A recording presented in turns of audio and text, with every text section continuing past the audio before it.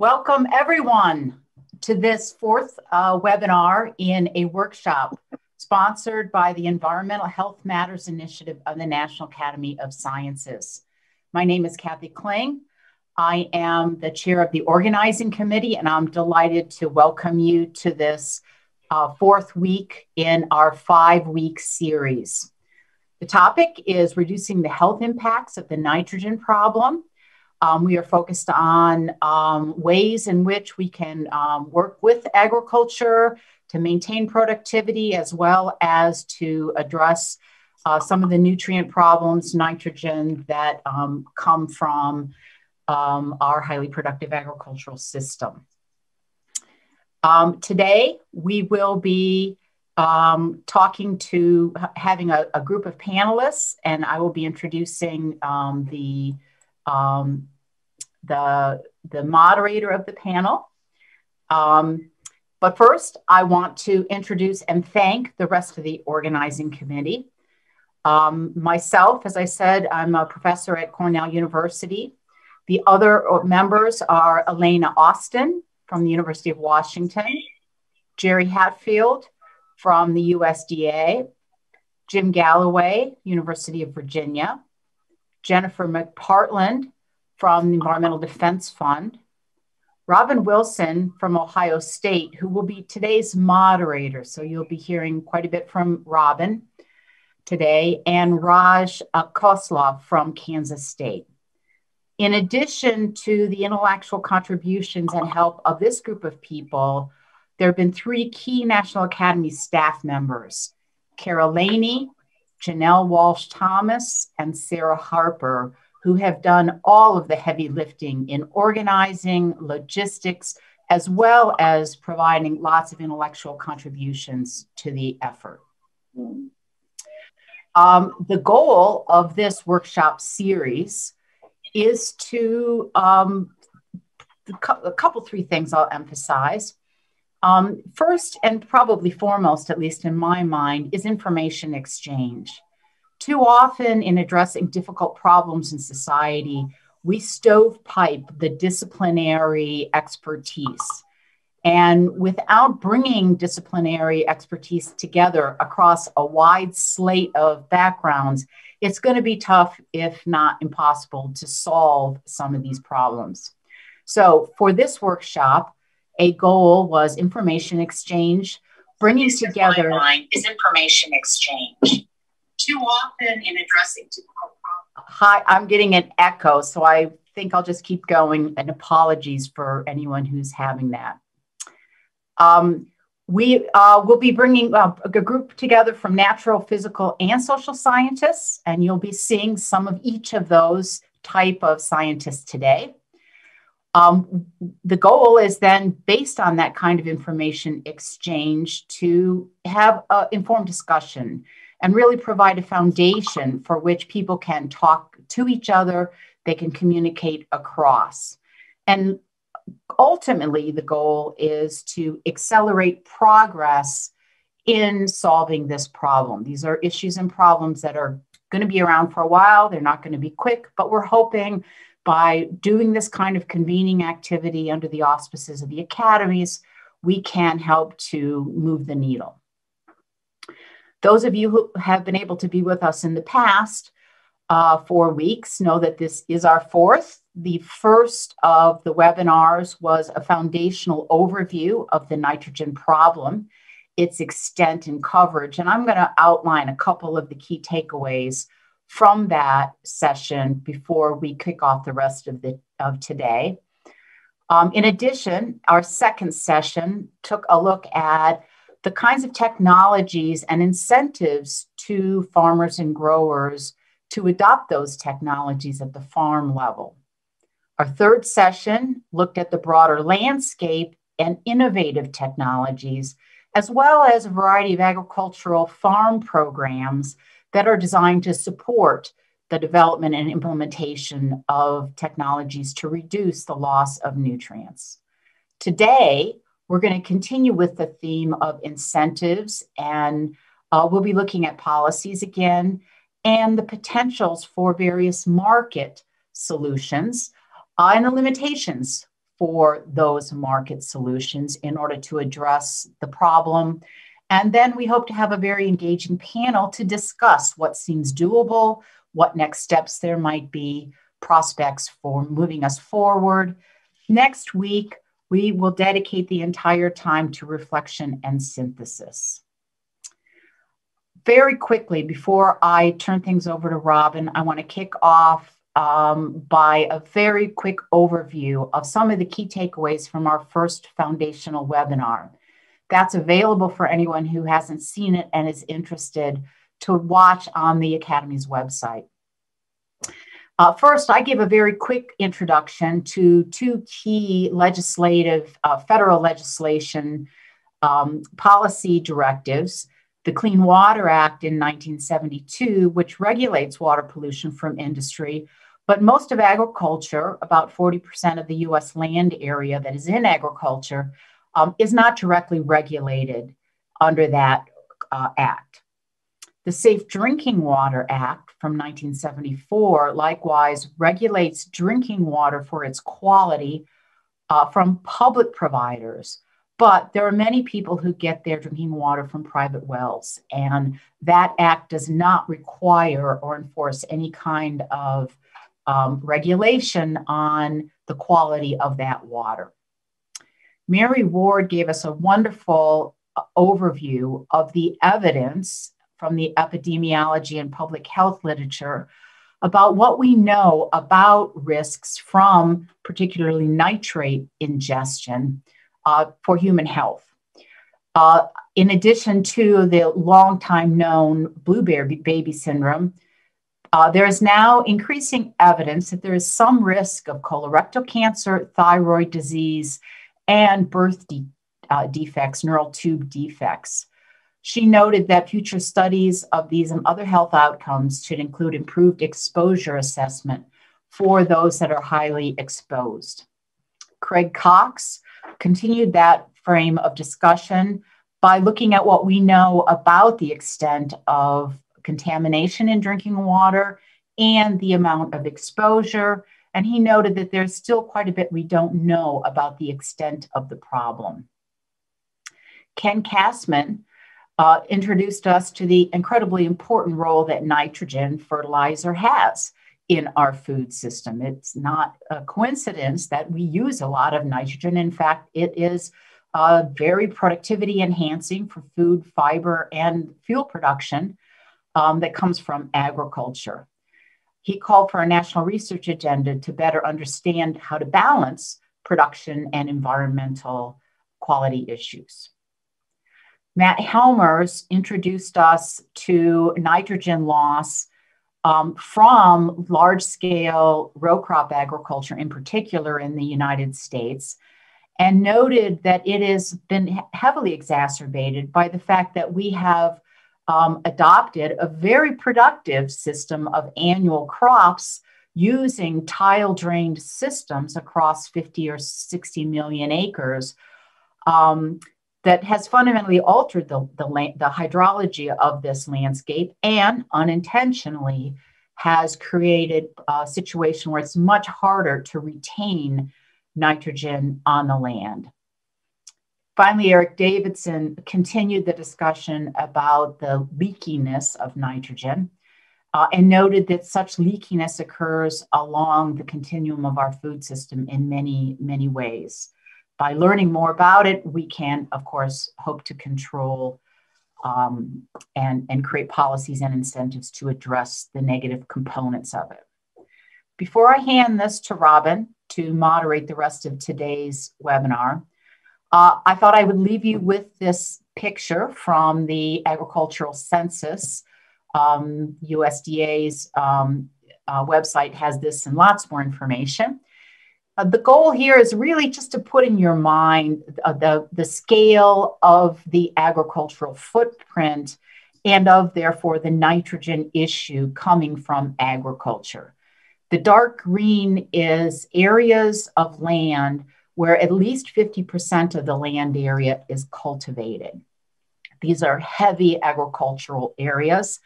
The lighter green are also uh, areas where there is a lot of cultivation.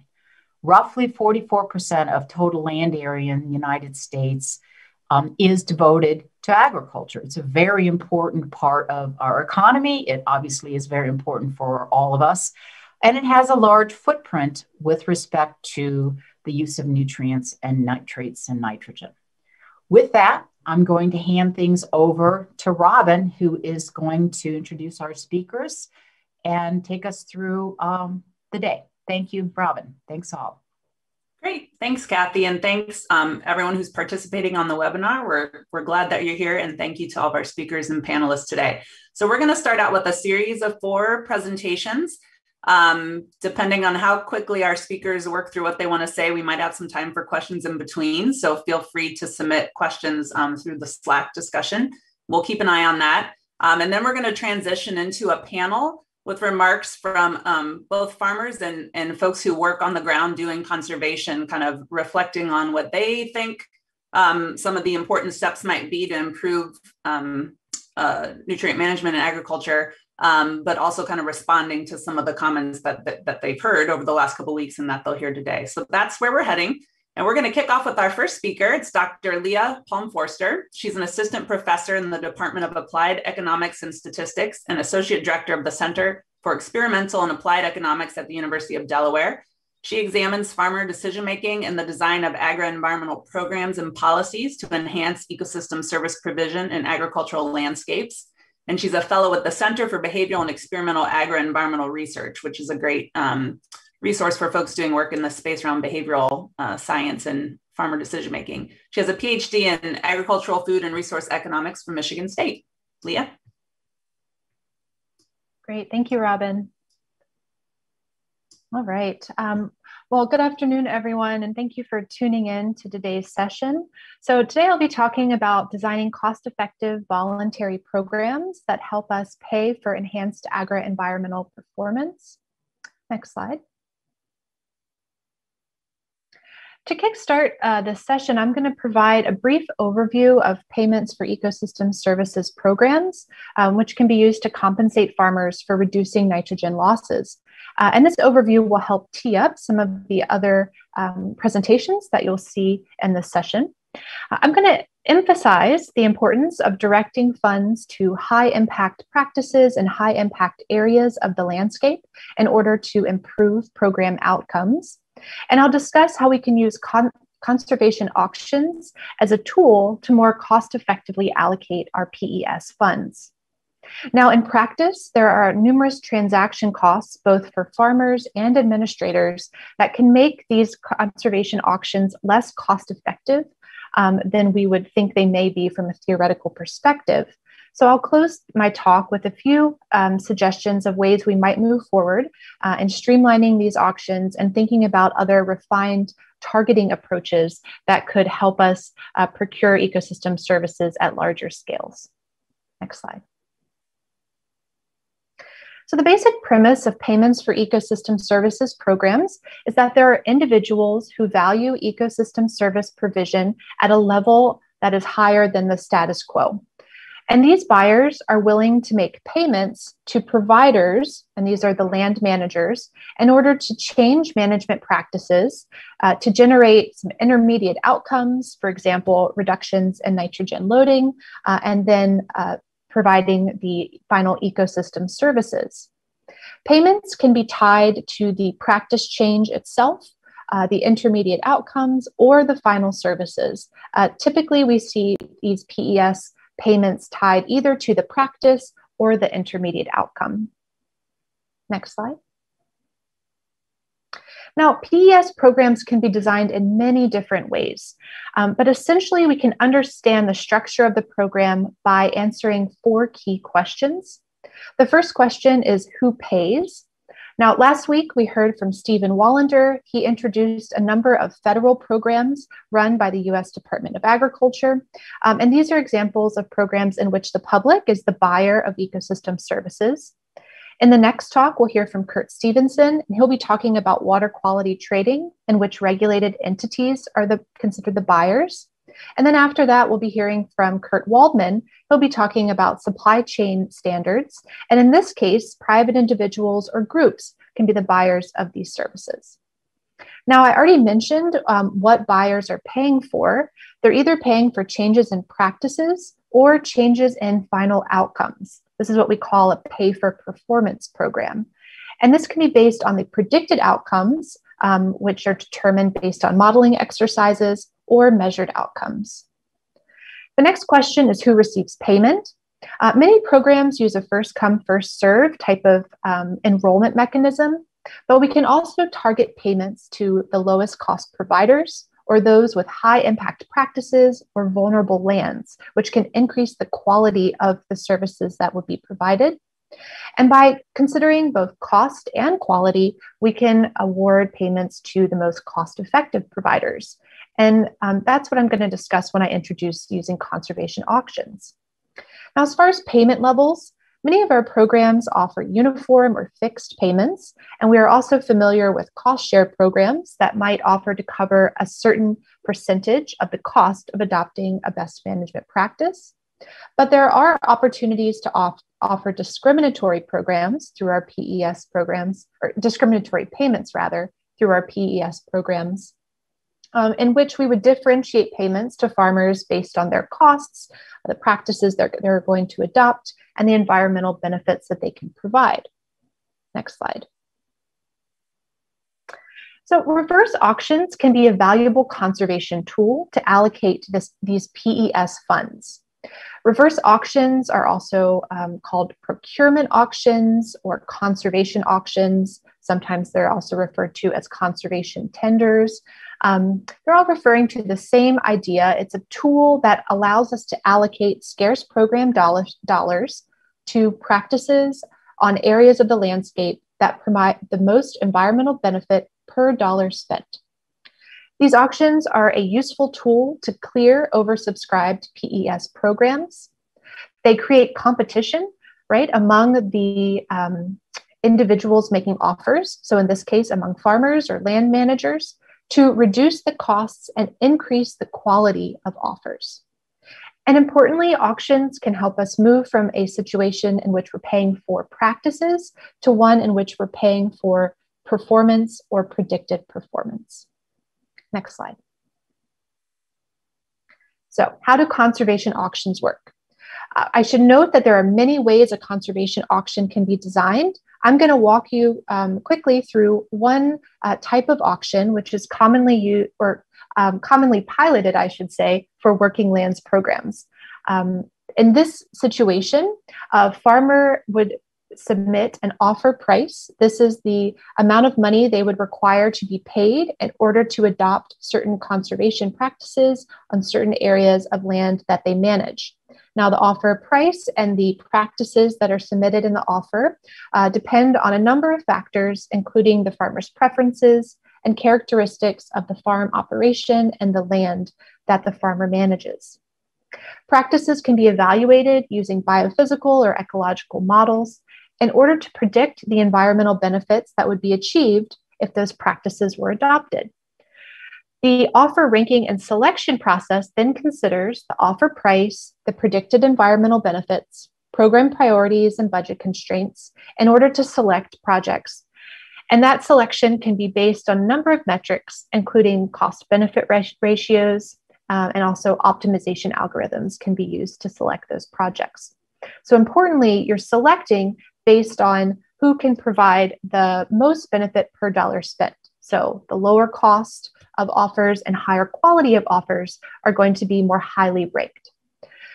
Selected farmers are then paid their offer price and then adopt practices that can provide the environmental benefits. Next slide. There's a lot of theoretical potential for these auctions to really improve the way that we allocate funds in PES programs um, and specifically for working lands. Um, now, these theoretical benefits are achieved by this competition that's created for the scarce conservation funding.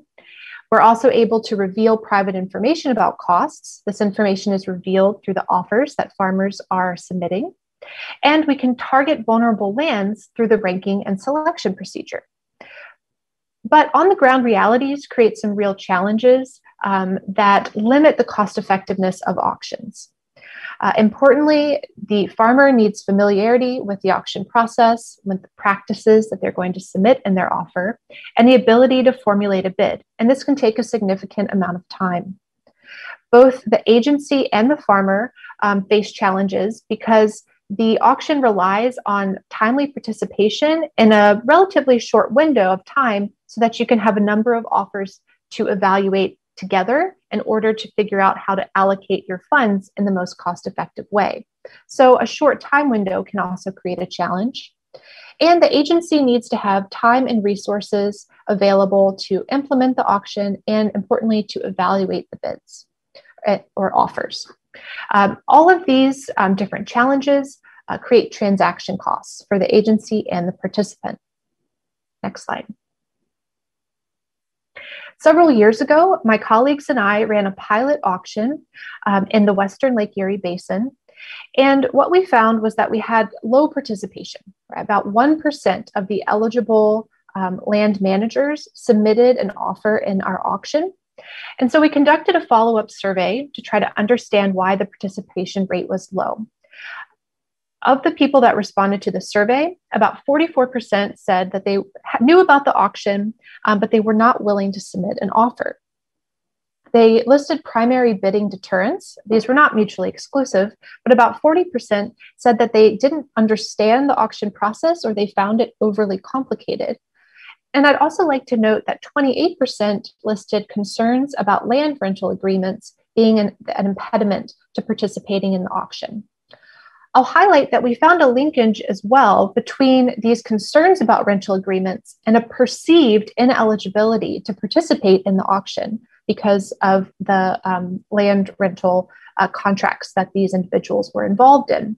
Uh, and I highlight this because this has brought up, uh, been brought up several times that land rental could be a challenge um, that we need to think more carefully about in our PES programs. So this, this information highlighted to us that the transaction costs really limited participation. And although we were disappointed at first to have such a low participation rate, um, we actually found that this is a fairly common result in these pilot auctions. Next slide.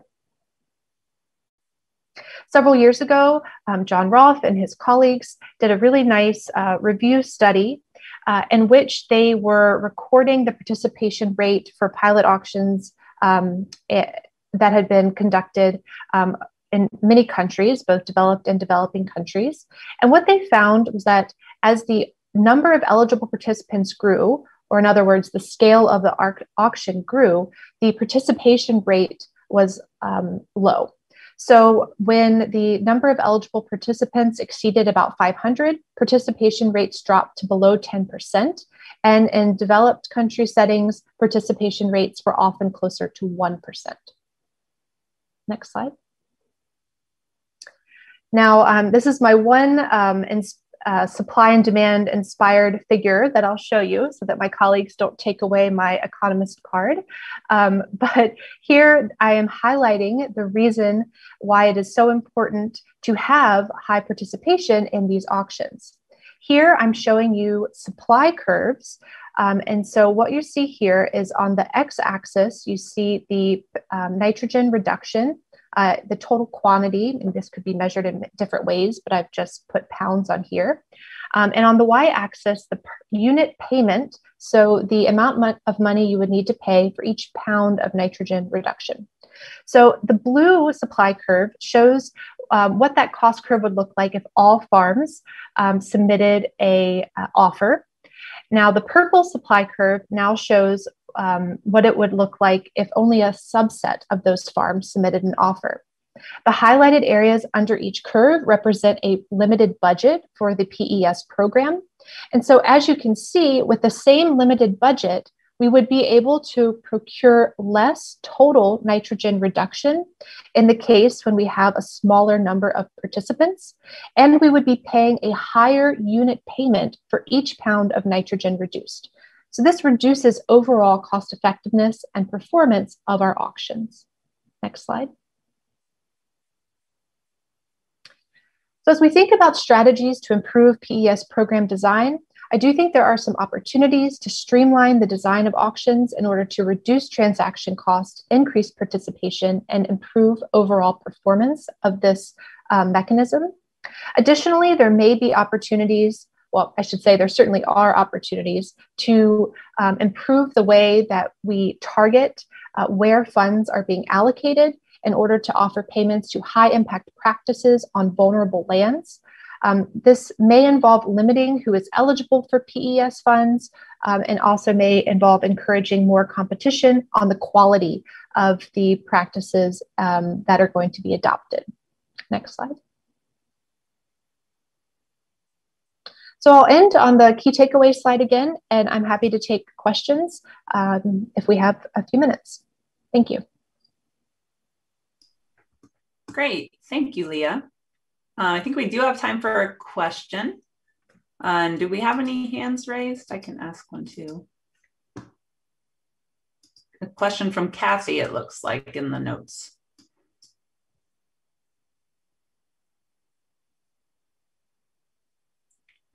Hi, sorry. I was having trouble unmuting.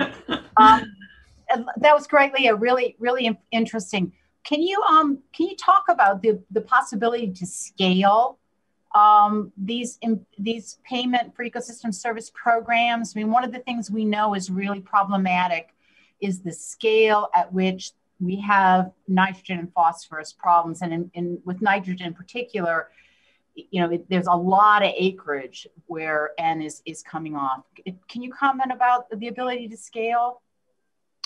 It, it's a great question. Um, and I have a lot of thoughts kind of racing through my head right now. I guess there's a few things that I think about. Um, one is the importance of considering how to solve a landscape problem by thinking about the whole landscape, right? So the piecemeal um, nature of some of our programs, I think creates a real challenge because we're not stepping back and thinking about what it's going to take to really move the needle at a landscape scale. Now, so that would point to um, programs that are able to have coordination across a larger land area. Now, as I say that though, um, something that's jumping to mind is a few workshops I've been participating in recently about outreach, which has really emphasized the one on one importance of outreach. So I think what is going to potentially need to happen is to have programs that can be run at larger scales, um, but to have this local coordination. So to have a, a whole um, team, a collaboration of partners that can be the local contacts and, and able to reduce transaction costs for participants and really think about um, you know how these funds can be allocated. So the allocation would happen on the bigger scale and the one-on-one outreach to to engage people would happen on a more local scale. Just a quick follow-up. Um, do you do you see any potential for sort of grouped payment for ecosystem service type contracts um, can you can you comment on that so that you could you know get a critical mass in a certain area in a more coordinated way? Are there do you have thoughts about that? Yeah, I, am smiling because um, that was something that I had hoped to investigate um, with the auction that we conducted several years ago, and we actually um, did allow for group offers. We did not receive any. And the feedback that we got was that there was even additional coordination that was needed among land managers to make this happen. That said, I know that in the past several years, there's been more work investigating this as, a, as an option for our programs. And I know there's a number of laboratory economics experiments who, that have thought about mechanism design um, that could be uh, useful for us to look to. Great. Well, thank you, Leah. I really appreciate that. And I, I think you did an excellent job providing this overview of the challenges we face with voluntary programs. I think people are often very critical of the fact that they're, they're not working to solve our nutrient issues, but I think part of the challenge there is how do we design them to be more effective? And I think you gave a great overview of that. So thank you. Great, uh, we're going to move on to our next speaker. It's Dr. Kurt Stephenson. Uh, he's a professor in the Department of Agricultural and Applied Economics at Virginia Tech. Dr. Stephenson's research interests include incentive based environmental policy and water resources management, planning, and policy. He currently serves on a number of governmental advisory committees, including EPA Chesapeake Bay Program Scientific and Technical Advisory Committee and National Academy's National Research Council committees, multiple ones. Uh, Dr. Stephenson received his PhD in economics from the University of Nebraska-Lincoln. And Kurt, take it away. All right, thanks. Um, like to thank the organizing committee for inviting me. I'm glad to be here this afternoon. Uh, uh, next slide. Um, um, no, next slide. Oh, so the the um, I was asked to talk about water quality trading and the role water quality trading would might have for uh, addressing agricultural non-point source pollution from nitrogen. Uh, next slide. And so I just wanted to get up front um, summary points. This is what I, this is where I'm going to end up. So this is my starting slide and ending slide. Uh, there's three points that uh, water quality trading is the way to think about these types of programs. That these are a compliance uh, system for parties that are facing regulatory requirements, and um, and they're designed as such. Um, the second point that sometimes people seem to misunderstand is that water quality trading is not a financing mechanism uh, to pay for voluntary uh, ag non-point source reductions for nitrogen. It's not a financing mechanism to get uh, BMPs on the ground to reduce nitrogen that could be um, that might be a means to the first end, which is a compliance mechanism. We'll get into that. And the third thing is, as currently being designed in the United States anyway, that water quality trading will will make at best a minimal contribution. This is my opinion uh, to reducing uh, ag-based nitrogen loads. So um, I could stop there, but then you know we'll end up here. I'll, I'll tell you why I think that uh, in the course of the next few minutes. So next slide. So this is just a simple diagram sort of to lay out what water quality trading is, um, how it's conceived. You got a you got a river system, for instance, that goes into a water body, an estuary, a, a reservoir, whatever. Uh, and you have these sources of nitrogen, these in pipes that are discharging nitrogen into that system.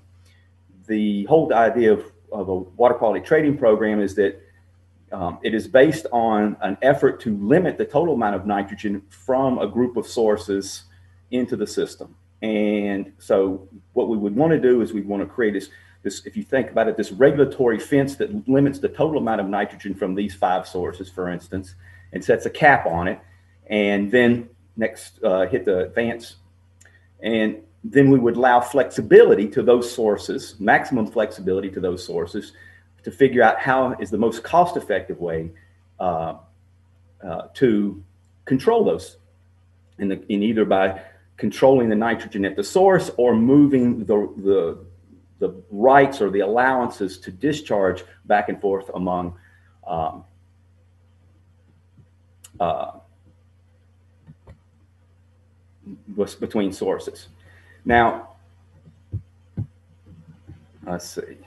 Whoops what happened. Oop. Give me one second to reshare your slides. Okay, I'm not okay. I'm not exactly sure. What do I hit to do it to advance the slides?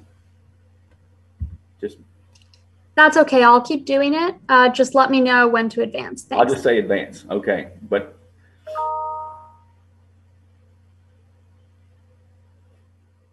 this is what happens when you let the economist drive. So you never want to do that, Sarah. So, um,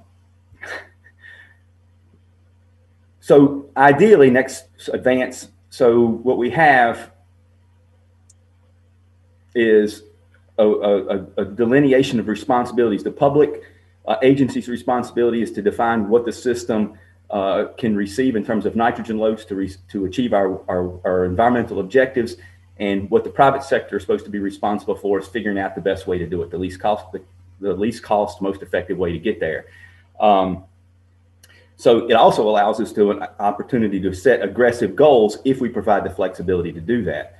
Next slide. So that's the idea of trading in concept. Now, so how does agriculture fit into all this? So uh, advance. So there's many more sources than just these these regulated sources out there contributing nitrogen to the system. So this is my little simple diagram. You got lots of farms, and then you have even urban areas contributing uh, collectively non-point source loads to the system. Uh, advance. And so the way night, the way agriculture fits in is that you then allow uh, these regulated sources within this within within the cap to exchange uh, what's called nitrogen credits with agricultural sources, and in exchange. So what happens in advance is that um, uh, yes, there you go. So you allow that somebody within inside the cap to increase their discharges, and while the agricultural source reduces their discharges, and um, and the reason why they would do that would be so the point source would could reduce their compliance costs. Next slide. So just to give you an illustration of the rationale about why somebody within the cap would trade with an agricultural non-point source is this is a this is a, a diagram from the World Resources Institute uh, that's several years old now, but it's still effective in um, conveying the point. So you'll see on the vertical axis is the cost to control nitrogen, cost to reduce nitrogen from the various sources. And on the right-hand side is a, very, a variety of agricultural non-point sources that have uh, calculated very small costs, you know, less than $5 a pound per year to reduce nitrogen. And on the left-hand side, you see uh, point sources uh, and uh, urban non-point sources that have very high costs. Uh. So the idea is you'd let those the sources that are inexpensive to, to reduce, next advance, uh, trade with the folks that are that face regulatory requirements and very expensive costs to move pollution obligations around between them in exchange advance for money. And so the conceptually at least the regulated sources can save a good deal of money by paying some paying these low cost sources to do some nitrogen control. Uh, advance so is it a solution to ag non-point sources? I think there's some there's key conceptual issues that people need to understand and some practical experiences. And I'll share a few of those with you now. Advance some conceptual issues. Um, non-point source trades with um, regulated sources are an offset. So it's not a net reduction. It's somebody gets to increase their loads while somebody else gets to decrease the loads. So a trade in and of itself is not a net reduction of nitrogen to the system.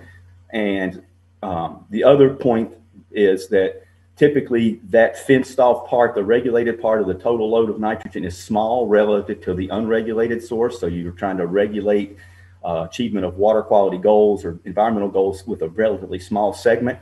So uh, next slide, just as an illustration of that last point, these are the simulated nitrogen loads to the Chesapeake Bay from different sources. And in the blue, there is agriculture. In 2019, Chesapeake Bay program estimates that 90, uh, 45% of all nitrogen running in the Chesapeake Bay is from agricultural sources. And that sliver of green there, the wastewater treatment plants are 13%. And, um, and the, the potential trading portion of that is even much smaller. So conceptually, what you're trying to ask somebody to do is that 13% to pay for the, you know, a portion of that 45%. And it's going to be, um, it's a, it's a tough lift. Uh, in this, and, and, this is the Chesapeake Bay. So um, even the urban loads are a greater percentage of the total than say, what you would have in the Midwest. So um, it, the, the, the blue pie square gets much bigger as you move to the Midwest. Uh, next slide. Uh, advance. So uh, you'll see in the literature, a lot of people say, well, what about if we just put in trading ratios and we require the point sources to buy twice as much uh, reductions from the non-point source loads in order to, to constitute a, a, a, a trade or a retirement ratio? That's been advanced as a way to try to extract extra nitrogen uh, reductions uh, from these regulated sources. Um, uh, advanced and you also hear people say, well, all we need is to lower that, lower the cap and, and lower and, and put this um, increased stringency on the regulated sources in order to give them more incentive uh, to, um, uh, to trade with non-point sources. So these have been sort of, well, how can we sort of uh, reimagine this trading program to get stuff out so we can make some progress on the non-point source loads? Um, you can do those things, um, but they haven't worked uh, well in the past. Next slide. So the practical reality is our experience with water quality trading is that um, we have observed that there's very little demand from regulated sources to buy non-point source credits, nitrogen credits from uh, from the from agriculture sources. And there's a, vari- a whole raft of reasons why that why that's the case, and it has to do with regulatory uh, requirements, uh, like the regulatory program stresses avoid and minimize type of a logic. Um, the Clean Water Act is about zero discharge, so when you get somebody to reduce, you really don't want to let them back up again. To let their loads go back up again, there's a whole um, a whole variety of, uh, regulatory requirements that restrict the ability of point sources to buy. So there's a whole raft of issues associated um, with the lack of demand for non-point source credit. So there's just very little activity out there with respect to um, buying non-point source credits. In particular, for on working lands. The programs that we do see tend to be retirement programs. So you buy agricultural land and you retire it uh, into a tree, into a forest. Uh, there are some programs that have quite a bit of activity in that type of in that type of realm. But again, that's a one-to-one offset. Um, and then there's ag non-point source supply problems. In the sense, the, the transactions cost that Leah was mentioning earlier, that those same transactions are cost in many instances apply to non to uh, agri- agricultural non-point source trades, um, which really increases the cost of credits. Uh, farmers concerned about um, risk and tying up land and being and flexibility in, t- in, terms of getting mixed up with a regulatory program, a whole raft of issues there. Uh, advance. So if you look and you look at what's happened, um, and uh, I think there was a reference if you people want to read, you know, sort of a, a review of the experience in the United States. There's a there's a, a reference that uh, we just published a couple years ago, paper we published a couple years ago explains this. But for 25 years of experience since since the first trading guidelines were issued back in the Clinton administration in 1996, uh, we have very few instances of a program being developed that's created sustained uh, agricultural non-point source with agriculture. So, and even less, very few with any with working lands. So, next slide. So if somebody wanted to use water quality trading to, to, to make a dent uh, and to make it uh, in, in addressing the nitrogen issue, you really have to start thinking about um, expanding that regulatory cap. So advance. So for instance, you know, you could put regulatory requirements, mass load limits on uh, non-point source, urban non-point sources like uh, uh, urban stormwater systems, advance, or you can think about trying to regulate a portion of different types of different agriculture and, and trying to and, say, and then introduce, well, if we put these regulatory limits on there, what kind of flexibility can we provide to make this requirement less costly? Advance. So I'm back to the end. Um, uh, that water quality trading, you got to think about, got to remember, folks, got to remember that water quality trading is a compliance mechanism for those facing requirements to limit nitrogen. And um, it is not a very effective mechanism to try to fund non-point source reductions the way it's currently designed. And um, uh, if you want to make water quality trading uh, uh, play a bigger role, and that's an if, it's an if then statement. If you want water quality trading to play a bigger role in trying to redress the non-point source uh, end problem you got to think about in, in, bringing more sources under the cap, including portions of agriculture. Thank you. Great, thanks, Kurt. I think we have time for a quick question, so I'm going to actually ask one, and if others have any, we have um, discussion time at the end to circle back to these first set of speakers as well. One of the things that occurred to me while you were talking is, um, I guess, an, another potential challenge for water quality trading programs. But how do you deal, deal with spatial inequity? So I'm I'm picturing a community around an industrial point source who is not comfortable with the idea that that local source is allowed to pollute in order to offset that elsewhere. So I just wondered if that gets accounted for in the way we think about um, kind of justice and ethics in water quality trading. Well, it it it. Well, I think this is related to the lack of demand. That generally doesn't come up because when, particularly for nitrogen, because you know nitrogen is not historically is not a regulated pollutant under the Clean Water Act. And so when when there's a local when there's a water quality problem and nitrogen's been identified, the the first thing folks do is the first thing the regulatory program does is to impose limits on wastewater treatment plants for those nitrogen. So you see right off the bat, like in the Chesapeake Bay program, nitrogen levels from wastewater treatment plants have re- been reduced by 60, 65% since 1985, and that's with population growth. So there's, a, and so what you're talking about is a little bit of increase over, you know, a 60 or 65% decrease. Okay. No, that's helpful. Thank you. Yeah. So the urban, the, and, and actually the urban areas or anybody, the large wastewater treatment plant sees an immediate large reduction, hmm usually when you have these, these programs. Okay, excellent. Well, thank you. Thank you so much. Uh, we will move on to our next speaker. Uh, next, we have Dr. Kurt Waldman. He's an assistant professor in the Department of Geography at Indiana University in Bloomington, Indiana. His research focuses on perceptions, judgment, and decision making related to agricultural sustainability, environmental change, and food security.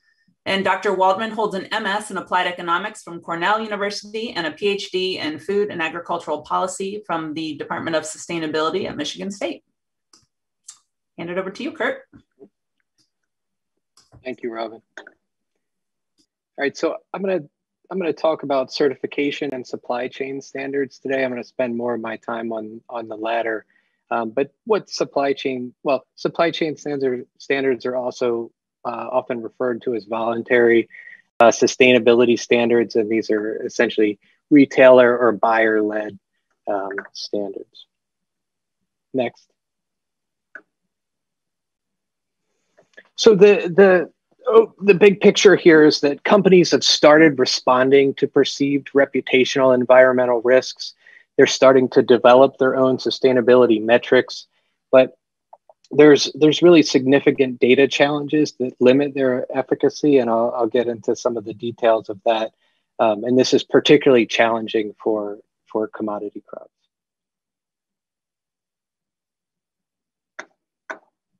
Sorry, Kurt. So Give me one second. Okay, I'll just keep going. So in in the 70s, we see the rise of a lot of uh, product certifications, so eco labels, and a lot of the a lot of these are these have just proliferated since then. We've we're, we're seeing about as many as 500 now in the United States. Um, they typically, you know, operate under this logic that we're trying to generate enough demand for the practices that we're certifying that they become the de facto rule. Um, they typically only work under certain conditions and cover a li limited portion of the market. Um, and they, they typically have a, a fairly rigorous um, M&E built monitoring and evalu evaluation built into them. And the, the real logic here is we're just rewarding producers for favorable practices. Next. So the, the next sort of iteration came out of the rise of, of interest groups. So in the 80s and 90s, we started seeing interest groups leveraging corporate risk. So the classic example here is is Greenpeace sent a fax to Gerber, basically just asking them if they use GMO products in their in their baby food. They got an almost instant reaction from them. Immediately, immediately changed their their practices. The a more sustained example is the McCruelty campaign by PETA, in which they were able to change uh, animal welfare standards down uh, McDonald's supply chain. More recently, we've started to see sustainability sustainability scorecards. So this is an example from uh, Beyond the Brands by Oxfam. So they essentially take publicly available data on these firms come up with rankings of them, and then ask the firms if they're willing to essentially contribute to make these more, more accurate. The logic here is that large retailers control enough of the market share that they can dictate the ter terms to the suppliers. This turns out to be not exactly true, and I'll, I'll talk a little bit more about that next so the the what we see now is a much more collaborative version of this. So these multi-stakeholder initiatives tend to involve industry ngos farmers academics so coming together to agree on how to define sustainability. Um, these are these are fairly new instruments or mechanisms so we don't have a lot of research on it. The research the empirical research that's out there is is somewhat mixed. You know there can be high transaction costs or and accountability issues. But in general, what we're seeing is there there's the potential to have a transformative effect um, from some of these mechanisms. Next.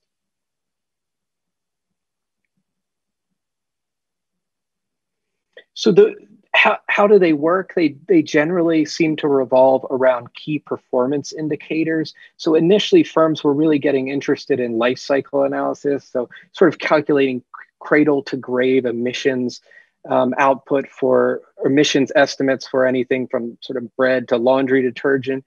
Um, they realized that that was very difficult, and so they they sort of backed off a bit and started just just coming up with these performance indicators, which are they're more like metrics than than the standards that we would see with with certification you don't necessarily need to meet some bar to to participate in this program to sell to this retailer et cetera.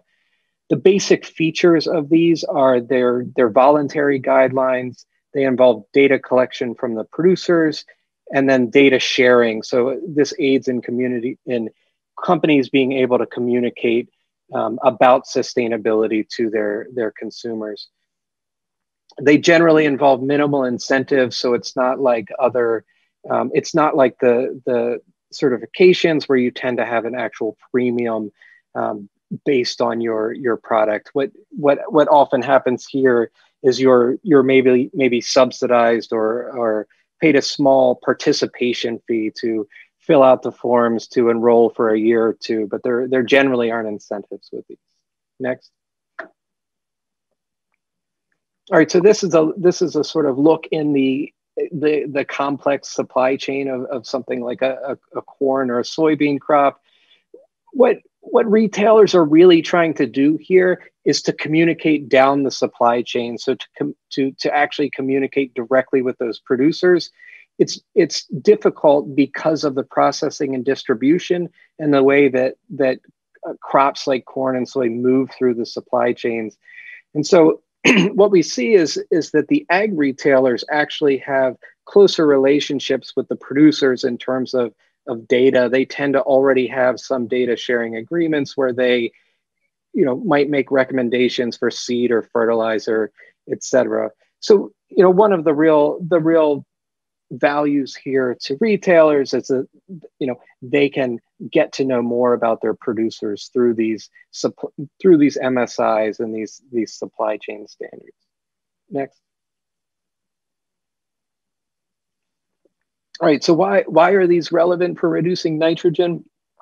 So the the the the first part here is that that retailers have really started to experience supply chain risk.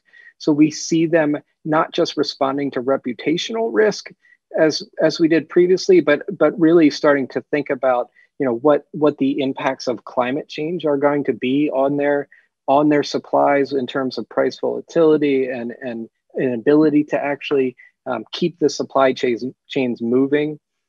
The the second point is that the, these are relevant in a way that that consumer eco labels and some of the other um, you know mechanisms that have focused on product premiums, identifying you know direct consumption channels and finding consumers who are willing to pay more for that. Um, you know consumer eco labels just just aren't relevant in some of the similar uh, mechanisms mechanisms just aren't aren't very promising in this area. And so it just shines a little bit more light on the supply chain standards. The the other point i wanted to mention is that traceability is getting a lot better so with the with the introduction of blockchains um, into into food systems, we it's it's a lot smoother. It's a lot easier to to track uh, commodities through the supply chain now. Um, this is not widespread. This is but this but this is going to be coming uh, becoming more common. I, I believe.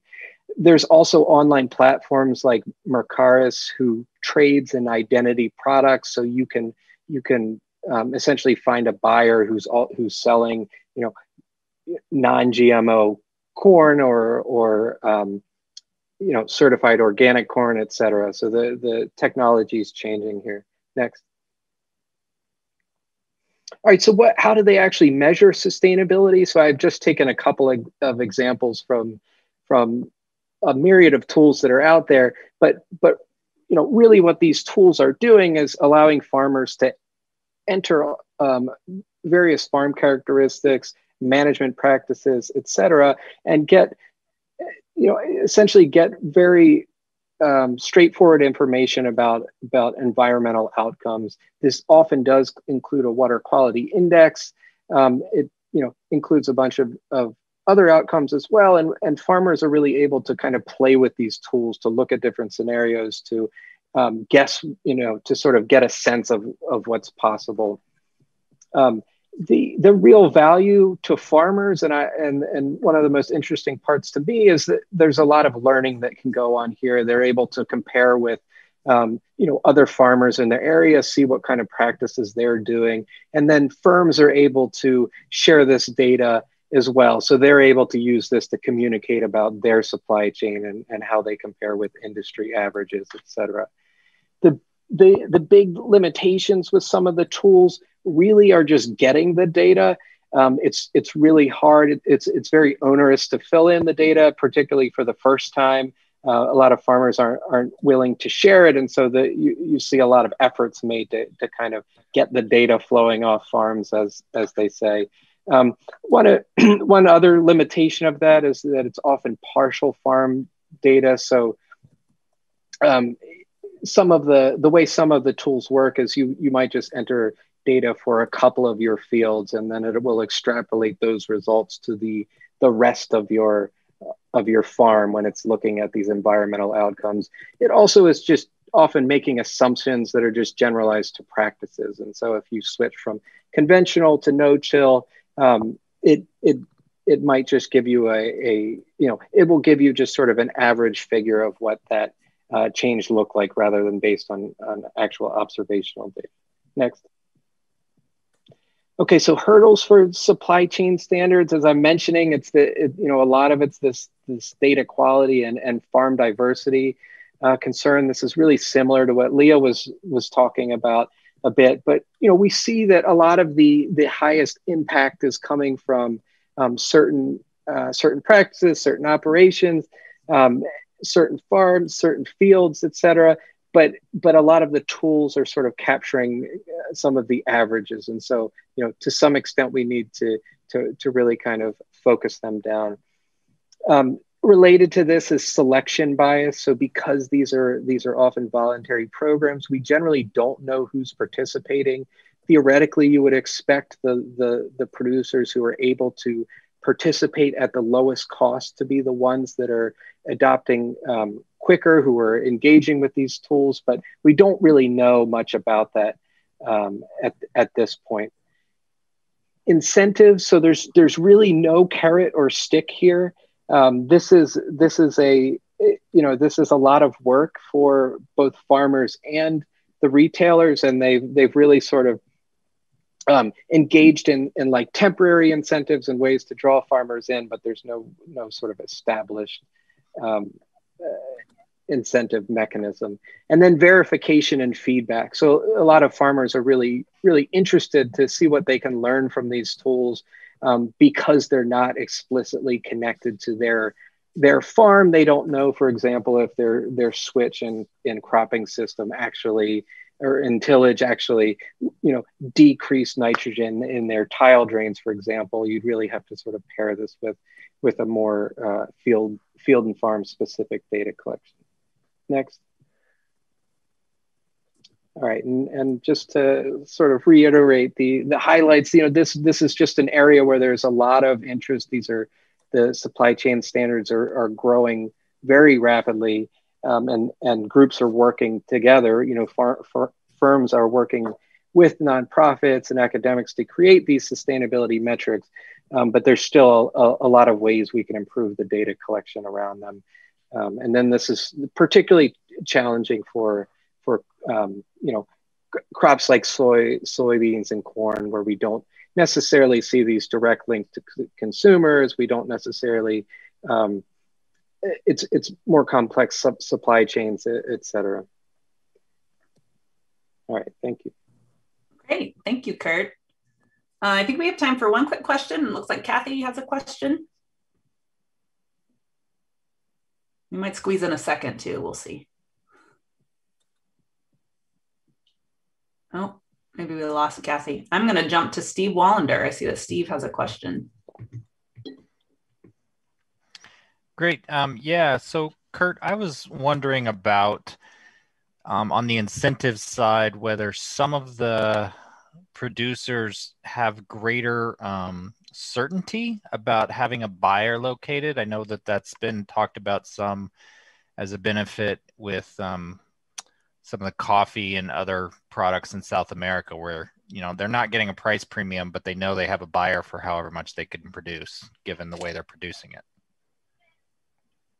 Mm-hmm. Yeah, I mean, I, I, in a lot of ways, I, I think when you're talking about these these international supply chains, it it you know it's much more focused on you know who the buyer is. With the with a lot of these domestic programs, we see you know Coke, for example, might go into an area of um, you know Indiana or Michigan where they know they have a lot of growers, set up a program there um, you know, get get incentives out to, to farmers to participate in this and start, um, you know, getting data flowing to them in that way. Great. Well, thank you, Kurt. I think we will go ahead and we'll try to stick on time here and transition into our uh, last kind of set of speakers in this first part of the session. Uh, so we have a bit, bit of a tag team from the Nature Conservancy, Leif Fixen and Ben Wickerham, Leif is the North America Soil and Nutrient Strategy Man- Manager for TNC. He leads their farmer advisor strategy for working with public and private organizations and businesses who service and advise farmers with the end goal of scaling adoption of soil health practices for our nutrient stewardship and edge of field practices that reduce ag's impact on our water and position, position agriculture as a natural climate solution. And Ben is TNC's Saginaw Bay project manager uh, he's worked for 13 years to deliver innovative conservation programs throughout the state of Michigan in a variety of roles with other organizations as well. He received his Bachelor of Science degree in zoology from Michigan State. And as a conservation pra- practitioner, his primary research interests involve farmer behavior and motivations, practice permanence, and using agribusiness as conservation entrepreneurs. So I'll hand it off to the two of you. Oh, Leif, I think you're on mute think I'd have this figured out. Um, the intro, uh, I'm going to kick us off with kind of like a, a, little bit of a high level overview of, of our of our some of our over like overarching strategies as it relates to uh, driving the value of manure, and then Ben's going to take a, a, little bit deeper dive and and, and stand up uh, an example uh, partnership and, and, project that we're, we're touching down there in, in Michigan uh, in the end. So uh, next slide, please. So, uh, for those of you who aren't familiar with TNC, we're a global uh, nonprofit. Uh, got our start kind of in land conservation as, as a land trust. Uh, but over the last uh, really 15 years, we've we've we've built out uh, an, an ag program, ultimately driving towards two main goals. How can we reduce the impact of ag on our on our on our water, in our land and and also how can we use agriculture as a we call it a natural climate solution but ultimately uh, transition ag from being a, uh, uh, greenhouse gas emitter to potentially a, a, mitigation tool. Next slide please. And and as many of you know you know uh, integrated systems offer a lot of opportunity uh, towards towards both of these goals. Uh, you know the way our ag program is is touching down is it's really focusing on kind of nutrient stewardship. So how can we increase the, the ultimately the nutrient use efficiency rating of our ag system, as well as how do we get more soil health practices on the landscape. And, and livestock offer some, some opportunity to both of those goals. Straight up, uh, livestock allow us to, to their nutrient cycling. They allow us to utilize uh, products. They they offer opportunity in diversifying the nutrients going into uh, a 4R nutrient stewardship uh, management plan. You know, i.e., I'm talking about you know kind of organic sources of, of nutrients, slow release type sources of nutrients. There's some benefits to soil health, like directly towards soil health. Some economic benefits to the farm, i.e., um, you know, as we're seeing uh, a greater need for edge of field acres and more acres in perennial uh, cropping systems, livestock allow us to continue to make uh, uh, uh, an agricultural commodity off of those acres. Uh, and, and that goes the same for, for edge of field uh, type acres. So we can we can graze and hay those those those grassed acres along rivers and, and lakes and, and grass waterways. Uh, but we need to be careful, right? So uh, we, we, don't want to uh, we, we don't want to get caught off guard by the back end of, of that strategy, both figuratively and literally, right? Uh, we're seeing huge growth in, in the uh, animal livestock industry, and that growth is anticipated to continue to grow, especially as developing countries get a taste for uh, meats and cheeses. Uh, next slide, please. And and that it, that risk, you know, this is this is about water quality, right? So that that risk shows up in in nutrient balances. Uh, more and more, we're seeing uh, critters migrate to the Midwest uh, for a number of different reasons. But we need to be working to make sure that as more livestock move to the Midwest and we see more infrastructure being developed there uh, through through uh, you know meat processing facilities and stuff like that, that we're we're making sure that those animals are being accounted for in in nutrient management plans. And and Wisconsin's Discovery Farm program, they did a, a, a nutrient use efficiency uh, study here uh, two years ago, and it you know pretty consistently a lot of their worst you know ranking fields had either basically they were coming out of a legume or they had a manure component to the natural the nutrient management system. Next slide. So what can we do? And and and so we here at TNC we think one of the simplest ways to do this is really work uh, to develop strategies that that show manure not as a waste product but as a, a, a valuable byproduct. So next slide, please. But to do that, we have to overcome uh, a number of different challenges and barriers. One is just straight up kind of traditionally, it's been talked about as a waste product. And, and, and, and in fact, for those of you who might be working for NRCS on this call, please change a couple of your practice standards. You know, it, it, it when NRCS refers to, uh, you know, where you store your manure as waste storage, like it has that that that connotation that like I just need to get rid of this as simply and as cheaply as possible, right? It's not a waste. This is a byproduct that that has a lot of value for, for you and your neighbors. Um, there are some agronomic challenges, right? So your your your timing windows for getting it on are are, are extremely tight, and not necessarily when you have an active growing plant. Uh, the the the nutrient ratios are, are usually fixed. Um, and then there's variability in those ratios as, as you may be applying that manure across the field. Um, and, and it's tough to integrate into precision ag programs. Um, there's also economic challenges, you know, tied to the cost of storage, cost of transportation with trends towards uh, more and more CAFOs. How do we economically get that manure back out across the, the right number of acres? Uh, and the technologies that allow for that are often expensive and require additional um, you know expensive inputs into the future. Uh, and, and going back to that perceived you know value, right? Like you know the person taking it is, is saying, hey, you got to get rid of it. Why don't you pay me? And the person with the manure is like, hey, this is a valuable resource. Um, we're seeing less of that, but anyway. So next slide.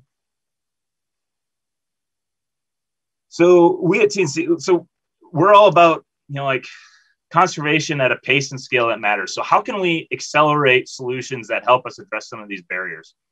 Uh, one of the biggest ones I'm most excited about is uh, some of the new technology that's coming out at, that helps us uh, um, like create as applieds of the manure. Uh, and so like John Deere has their their well, it, it, started as their harvest lab, but they're calling it their manure constituent sensor, and basically it can measure NPK uh, values of manure as it's leaving the applicator in the field. And, and that farmer can then uh, do a variable rate application to one of those, but then create as applied for the others, which then can be integrated better into your 4R nutrient stewardship plan. Um, and, and you can better balance and get that manure over the right number of acres. So the way we're trying to accelerate the uh, behavior change here is by offering cost share for, for farmers. This is in Minnesota. We're offering cost share uh, to uh, custom applicators and custom pumpers to put this technology on, on their equipment. Next slide, please. Uh, the other area that, that, that I'm really excited about is nutrient recovery technology. Um, this can be everything from helping you uh, balance that nitrogen to phosphorus ratio of the manure to uh, dewatering, so helping with the cost of, of exporting nutrients. Um, it can help with what I was just talking about, integrating into precision uh, uh nutrient management plans um, and, and creating really accurate as applieds. Uh, it can help turn that manure into a, a, a, product that can be used back on the farm, whether it's bedding, Um, it can help with uh, water cycling, right? So if you're in a drier area, you know, like there's technology out there that can get that wa- that manure to a, a standard that can be fed back to the cows. Um, you know, it can help reduce the cost of storage because of that dewatering component, uh, and and ultimately it, it can create a value added, you know, byproduct. And and a lot of this is going to be driven by your specific end game and what your challenges that you may need to be overcoming. And and kind of the way that TNC is is thinking about and plugging into this equation, like how can we accelerate this, is ultimately de-risking some of these new, new technologies and helping pilot some of them. In Washington State, uh, TNC and a bunch of their partners out there went to the state government and, and advocated for a, a pretty good sized pot of money to, to pilot some of these different technologies on, on dairy farms in you know, across the state to, to, to you know, hopefully de-risk the, that adoption. Uh, next slide, please. And with that, you know, I talked about that, you know, the, the whole renewable fertilizers kind of world, whether it's Struvite or looking at like so Sedron Technologies, you know, they, their system creates a, a 15% nitrogen certified organic um, uh, uh, aqueous ammonia. So like, I, I don't know of too many nitrogen sources out on the market that are, that are certified organic and that, that high at percent N, but, you know, creating how can we recover some of that additional cost recovery technologies through the potential value-added products that you're going to be producing um, um, from that, you know, using that manure as your base, you know, your base input. So next slide, please. Uh, and and then the, the, the last section I'll kind of talk about before I hand it over to, to Ben, and this is kind of our segue slide, um, is you know when done right, like manure can be one of these natural climate solutions. It does improve soil health. And, and so here in Minnesota, I, I live in Twin Cities. It, you know, we're standing up an ESMC pilot, Ecosystem Service Market Consortium pilot, that, that really is going to, um, uh, one of the goals, I should say, is, is to look at what the potential amplifying effect of having manure integrated into, into acres that are enrolled in ESMC can have on, like, can the farmer actually see an increase and, and essentially for lack of a better words, you know, credits being generated off those acres. So with that, I'll hand it over to uh, Ben, who's going to take a deeper dive into uh, one of the specific pilots that kind of ties all this together. Thanks, Leif. So in the time remaining, uh, yes, I'm going to share an example of how we're working here at the Michigan chapter in the Nature Conservancy to really uh, try to institutionalize uh, some of these farmer sustainability programs uh, to achieve nutrient reduction outcomes. And it's really uh, the bottom line is working with supply chain partners. Uh, so, so for us, it really represents the, the fundamental shift in the way that conservation is incentivized. And it's really the culmination of a better part of a decade of work here in Michigan by TNC to innovate and, and try to optimize the way traditional cost share um, has been delivered uh, as a way to achieve greater environmental return on investment. Uh, this is based on a, um, a history of work I'll, I'll, go over here in a minute, and also um, a lot of time spent on social evaluation to really uh, explore the research topic of who's the best conservation intermediary. Is, is it really uh, NGOs like, like the Nature Conservancy? Is it the local uh, soil and water conservation district? Or is it the, the most trusted advisor of all, uh, the agribusiness partners working with the farmers? Next slide, please. So here's a bit of a, a history of, of our work. Uh, click once more. Uh, and I'll take us back to uh, 2015 when we first started to um, really get in and try to disrupt and innovate how cost share was delivered to try to institutionalize um, a more sustainable way to do it.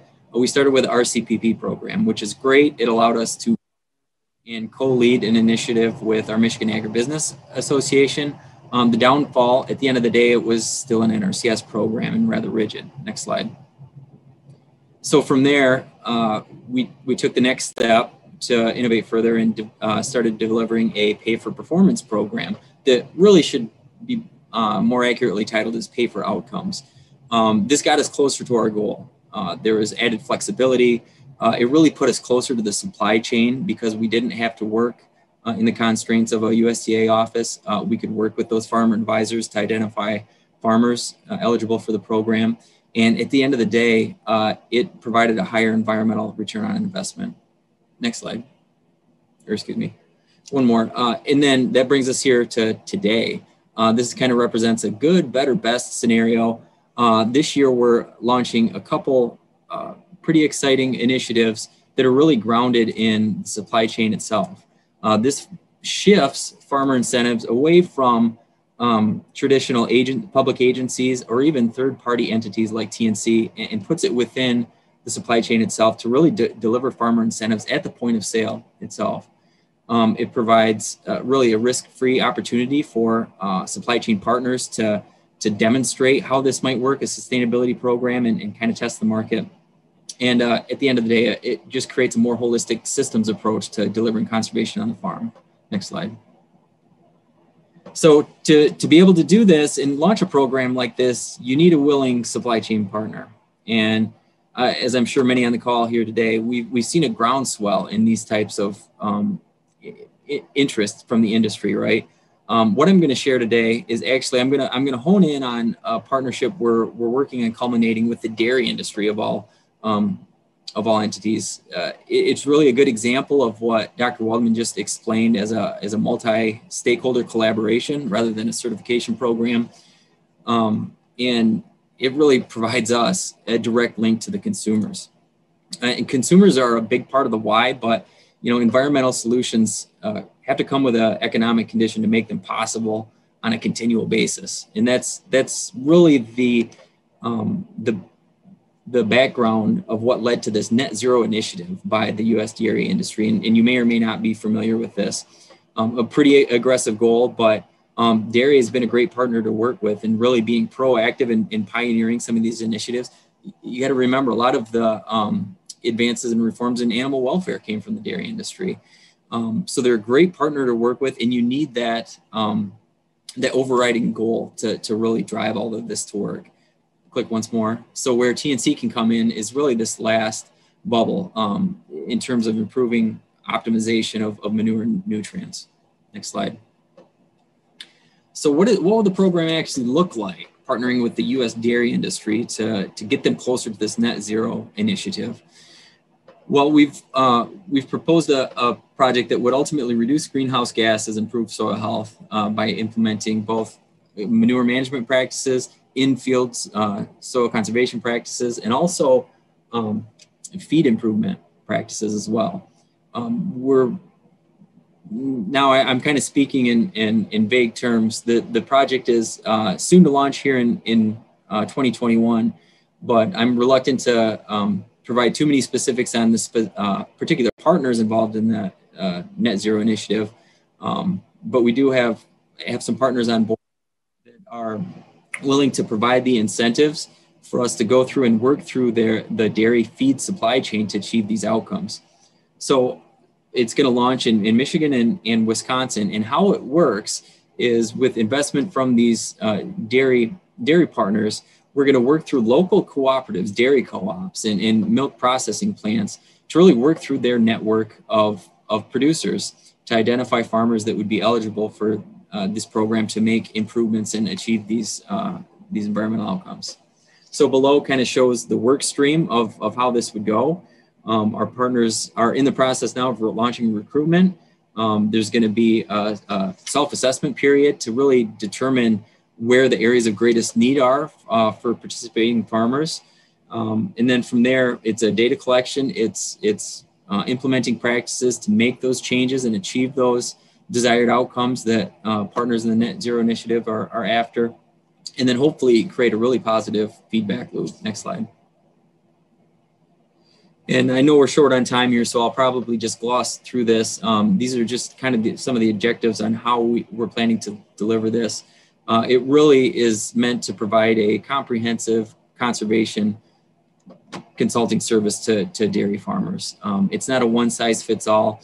It, it's a suite of practices and it's really meeting the farmer where they are based on their baseline assessment and delivering conservation practices that are going to allow them to achieve those environmental services uh, and, and add those. So it's a multi-tiered approach. It'll be everything from no-till to cover crops in field um, to, to, again manure management. There's a lack of uh, manure injection uh, in, in, in the particular region that we'll be working, and also manure application risk management as well. We, we lack a lot of regulation in Michigan that, that some other Great Lakes states have. So a lot of room for improvement to achieve uh, GHG outcomes with manure management. Next slide. One, one more, Sarah. Okay, um, so again, I apologize for the vagaries. Um, we haven't quite inked the, the official um, agreements with our uh, supply chain partners yet, so I'm reluctant to put the liability out there of, of stating explicit goals, but I did want to share this with you um, just to just to give you an idea of the things that we'll be tracking that um, that really the supply chain partners have shown interest in that, that are going to track towards their sustainability goals um, and the net zero initiative. So by implementing these practices, um, we'll be tracking all of uh, all of the above by 2023, and at that point, uh, it'll really come to a tipping point where hopefully we've demonstrated a, a sustainable closed loop system that will attract other dairy cooperatives um, to follow similar models. So uh, by 2030, we really hope to scale this up to, to um, multiple co-ops and processors around the Great Lakes and I will end there. I think we're at or maybe overtime. So I, yeah. there and um, our email information is there if anybody has information that would like to follow up with any of the initiatives uh, Leif or I work on. Excellent. Thank you, Leif and Ben. And we will be bringing these first um, sets of speakers back at the end for our kind of general discussion with not only all five of these individuals, but also our panelists who are upcoming. So if you have questions, there'll be an opportunity there as well. Um, so before we transition into our panel, who will be kind of reflecting on their personal experiences um, and perspectives in the space and also reacting a bit to what they've heard today, I wanted to share with you if you've been participating in this series of workshops, you've had an opportunity to provide some feedback on what you think some of the challenges and um, perhaps opportunities are moving forward in this space. So they're going to be pulling up a slide here with some of the feedback from that, that survey on uh, new policy and market opportunities. Wait for Sarah to pull it up. There it is. So this is just some of the feedback. There was a lot of really specific comments. So we just went through and tried to pull out some of the themes that we saw, but this is what's been coming from participants in, in the workshop series. Um, so markets for conservation measures. So we've heard about that today. Payment for ecosystem services, maybe maybe expanding those types of programs, maybe paying for those actual measured outcomes versus just practices or predicted outcomes, like Leah talked about. Um, markets for alternative crops, small grains in the rotation, so diversifying, which is something I noticed with our some of our farmer panelists today. They're operating uh, very diverse farms, which I think is a good thing for conservation um, integrated nutrient and carbon markets, uh, regulatory mechanisms to more effectively deal with the release of N from fertilizer and crop N fixation sources, um, perhaps differential regulation of potential input sources between states. Um, another idea that was a little different from a lot of the other things we saw was policies that preserve farmland so that decisions aren't driven by land payment demands. Um, and then we've heard some conversation about removing or revising uh, the current subsidy system um, within US agriculture, uh, that there might be better ways to do that. There are countries where that doesn't even happen at all. Um, and then increased leadership from ag suppliers, commodity organizations, and then some examples we've heard again today of farmer led watershed collaboration. So seeing more of that, perhaps um, bottom up and um, kind of business driven um, solutions.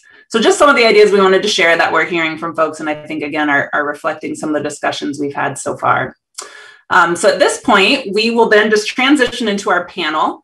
Um, so we had a bit of a, a, shift in plans today. So we have one panel with representatives from um, the farming community across the US, in fact, kind of widely spread across the US, um, and also a representative from the Environmental Defense Fund, um, who's also involved in kind of on the ground action. Um, and so what I'm going to do, I think, is just is just um, introduce all four of our panelists and then kind of hand off to them separately. they have been each asked to prepare about 10 minutes of remarks, uh, both bringing their own perspective and again responding to what they've heard. Um, and so let me do quick introductions and then we will kick that off. Um, so our first um, panelist today is Rod Weimer. Uh, Rod's a farmer and farm manager for Fagerberg Farms in Eaton, Colorado. He's been researching ways to farm more with less and believes in accomplishing this goal with drip irrigation. Uh, Fagerberg Farms is one of the largest shipper growers of onions in the US and has won Conservationist of the Year awards and Steward of the Land awards. In 2015, Mr. Weimer was chosen National Farmer of the Year for his efforts in precision agriculture. Uh, then we're going to hear from Rochelle Krusemark. Her husband Brad and their son AJ grow soybeans, corn, forage grasses, and cover crops, custom finished swine, and own a cow calf beef herd on their family farm near Trimont, Minnesota. Her son Caleb direct markets production uh, through Farmers Premier Meats. And the Krusemark family uses precision technology, no-till, strip-till, and cover crops to improve soil health and cohabitate with wildlife while serving as environmental stewards. Uh, then we will hear from Richard Wilkins. Richard is a farmer of, of another very diverse operation similar to Rochelle's uh, from Greenwood, Delaware. He's president of the Delaware Farm Bureau and past chairman of the American Soybean Association. He's been involved in helping to craft national agriculture policy during development of past as well as the current Farm Bill. He represents farmers as a director of the Supporters of Agricultural Research Foundation Board and the National Coalition for Food and Agricultural Research. He has traveled internationally on numerous trade missions seeking to open and expand global access for US ag products, as well as developing diplomatic relationships with leaders in foreign markets. And then our final panelist will be Jenny Ahlen. Uh, Jenny directs the Environmental Defense Fund's work to improve the sustainability of consumer goods through partnerships with the private sector.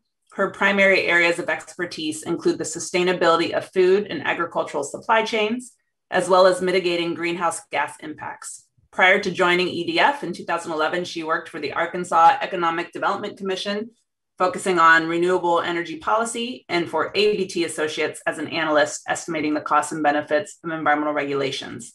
She has an MA in Energy and Environmental Analysis and a BA in Environmental Analysis and Policy from Boston University. So thank you to our panelists for your reflections, and I will go ahead and hand it off to Rod. Thank you, Robyn. Uh, it's a pleasure to be with you all.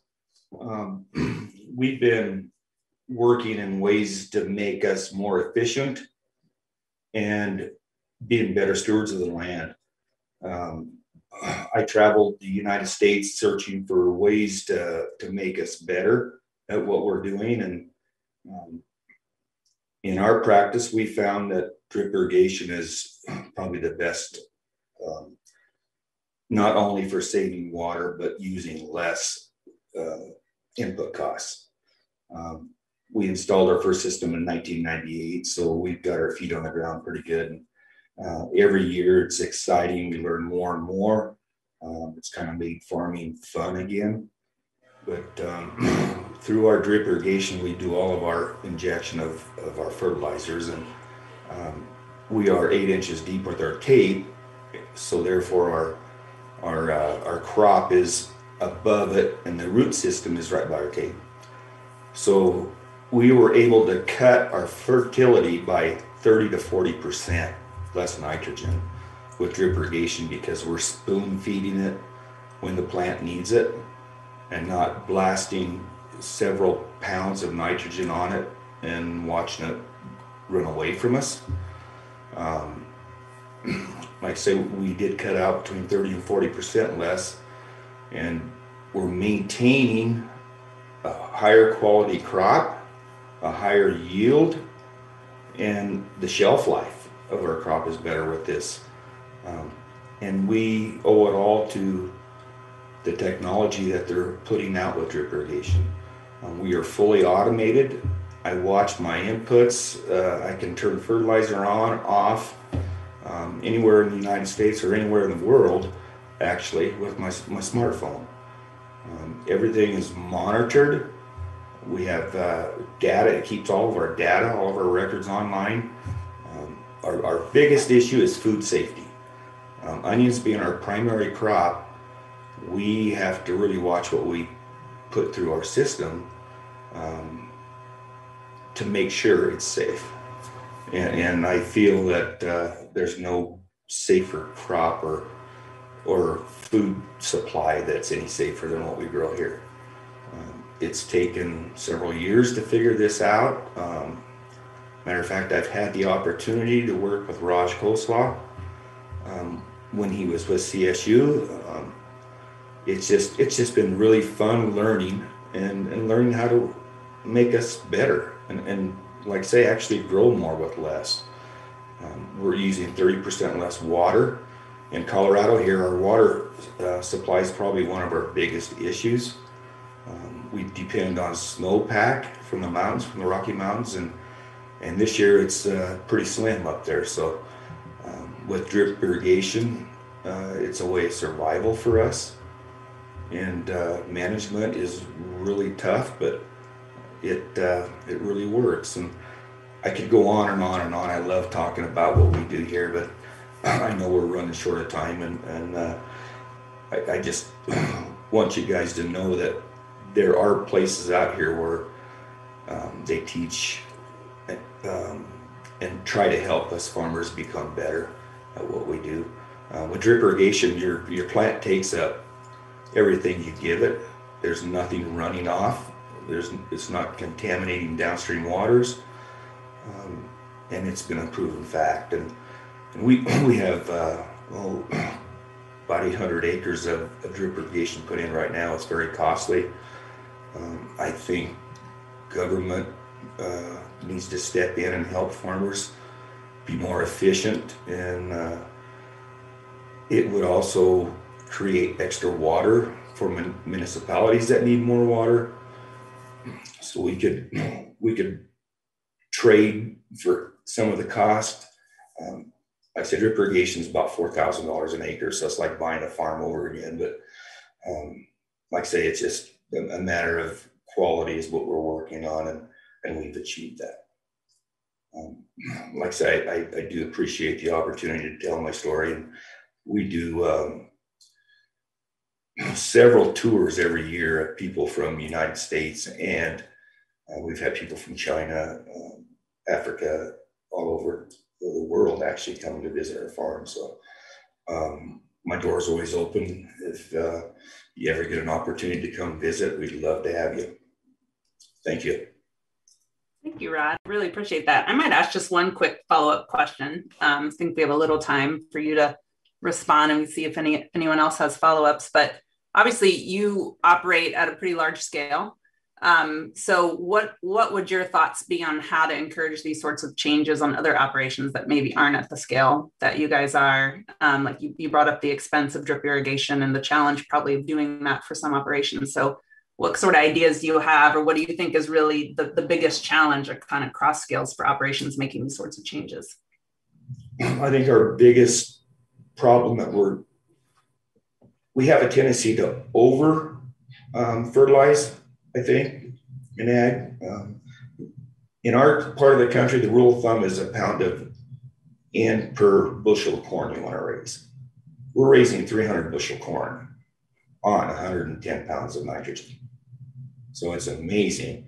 But I see a lot of pivots running and the water running off the fields and into the gutters and down going downstream. And if we could learn how to apply fertilizer at a less rate so it would absorb into the into the ground instead of running off, I think that's a that, that's be a big area we need to improve on. Fun. Thanks. Um, well, we'll go ahead and turn to our next panelist, uh, Rochelle Krusemark. Okay, well, thank you for inviting me uh, to participate in this panel today. And I think it's crucial that um, that farmers uh, are included in these conversations about finding solutions to environmental issues.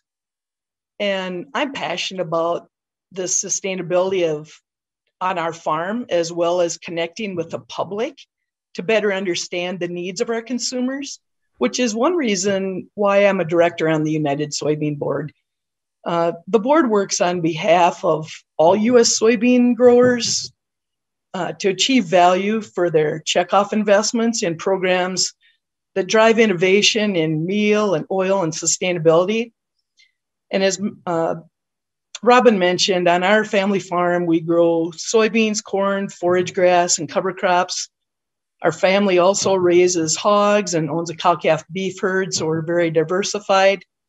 Um, we were the first farm in our county to earn the Minnesota Water Quality Certification Program. Uh, so we're we're proud of that. You know, we're stewards. Uh, our goal is to continually improve the soil and environment that's held in our care as we increase the economic efficiencies so that we can successfully transition to the next generation. And as far as sustainability now, well, US farmers are not only committed to, but we're actively targeting the aspirational goals for sustainable development where we can have a make positive contributions uh, and that's the biggest difference is at our farm but also through our value chain. Um, sustainability well us farmers we're on track and our goal is that we're committed to reduce land use impact reduce soil erosion uh, increased energy efficiencies, and part of that is by using the biofuels that we produce, and also by reducing greenhouse gas emissions. Um, I think one of the goals for the future is for the US ag industry to be the global leader in sustainability. As far as water quality, well, protecting the water is important. And a variety of farm management techniques, including conservation tillage, uh, which we practice on our farm. We no till and strip till.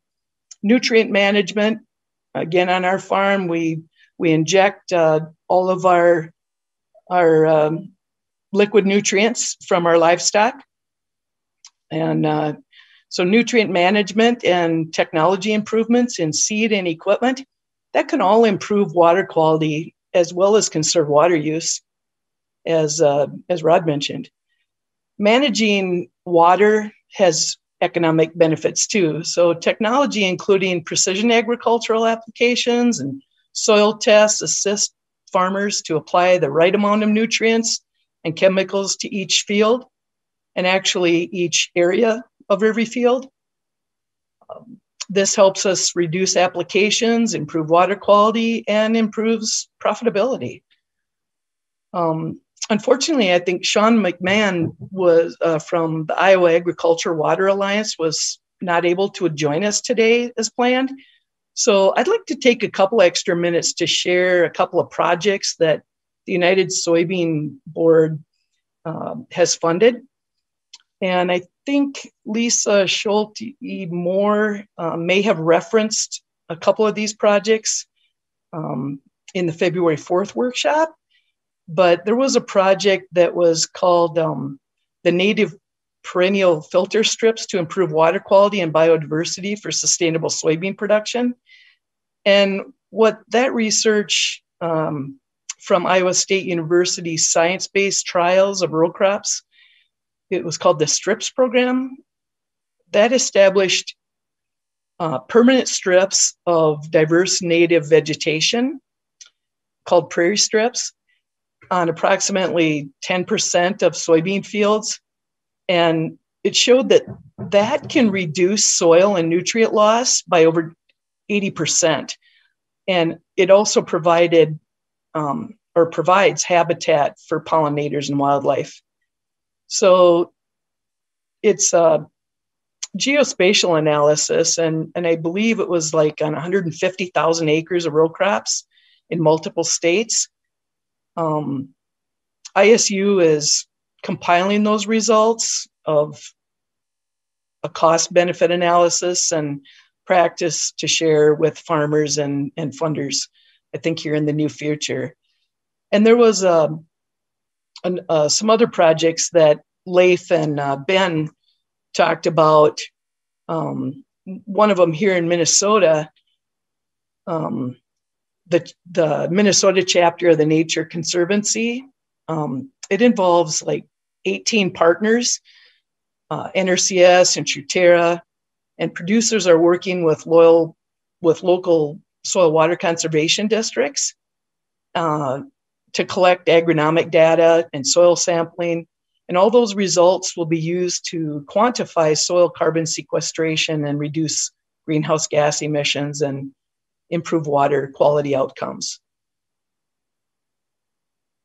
Purpose driven, well, when we talk about a farmer's role in sustainability, we're purpose driven business. So we understand that as raw material suppliers, we have an enormous impact on all levels of sustainability, including economic and, and environmental sustainability. As far as environmental, well, our environmental practices make us globally competitive. And we must continue to improve our product's global competitiveness by innovating and adopting more sustainable practices. I think our capacity to make continuous improvements in our production practices using innovative technology will nudge us forward. And it's, it's either going to make or break us in the future. And economics, well, improving on farm practices and uh, available technology advances both efficiency and environmental resilience, improves the future profitability uh, of US farming. Both contribute significantly to the future profitability and resilience in the economic realm. As far as sustainability from a global view, well, US farmers have pursued sustainable practices for decades, not only for the benefit of our farms, but for the planet. Uh, we appreciate that today's consumers across the globe sus- uh, demand sustainable products more now than ever. And they increasingly expect proof of that of those sustainable practices. Uh, a lot like Richard, I've had the opportunity to to travel and meet with a lot of our international customers and our domestic customers, and um, they all want to know what we're doing on our farm. So we're we're transparent, and you can, you know, feel free to come visit us any day.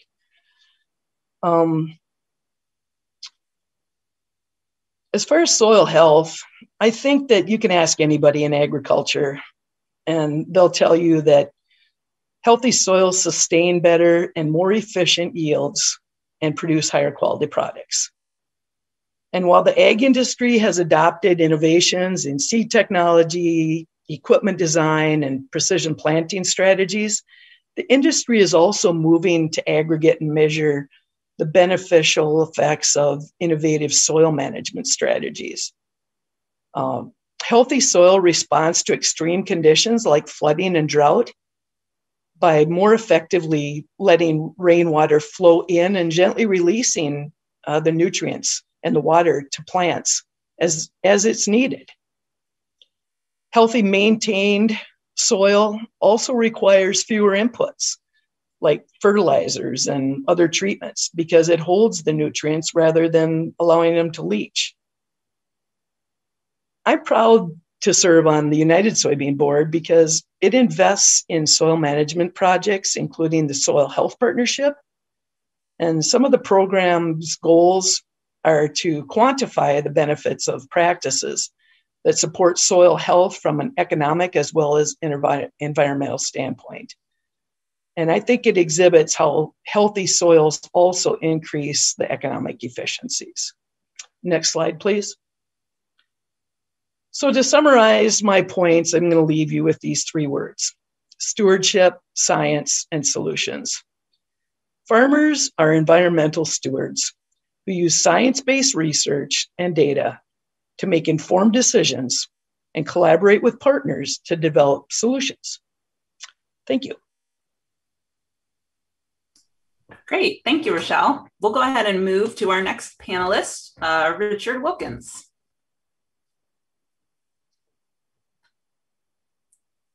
Joining us from the shop.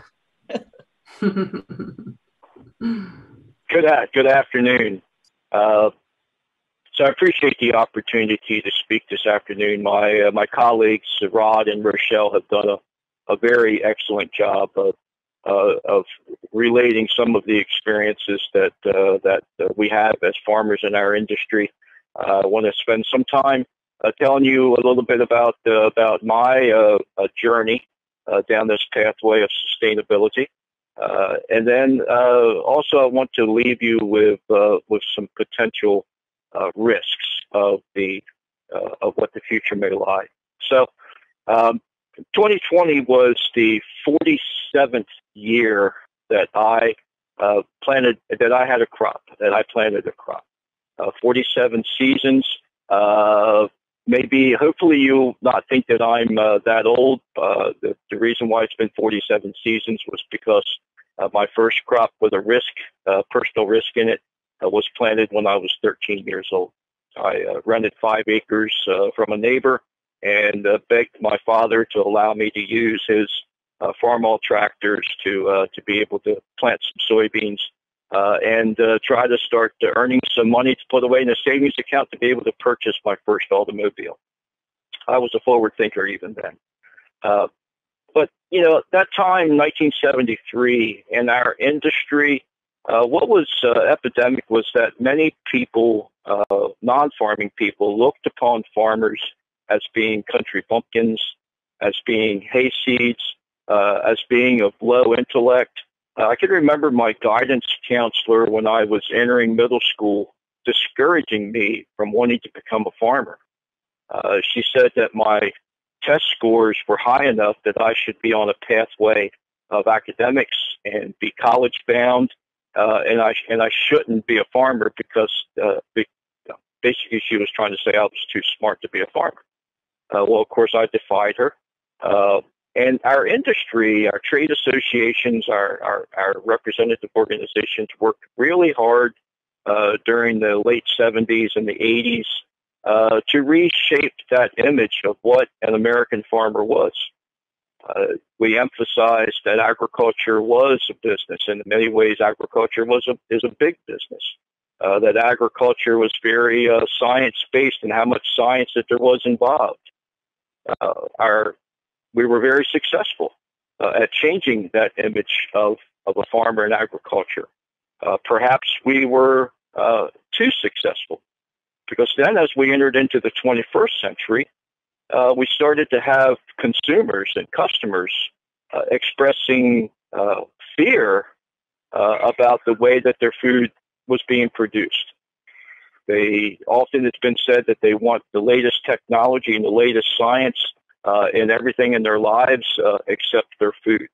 And there's been a lot of criticism uh, the last uh, 20 years about about our use of advanced plant breeding uh, uh, methods, about our, our use of of synthetic pesticides and synthetic fertilizer in order to optimize the amount of food that we're producing from each from each unit of production.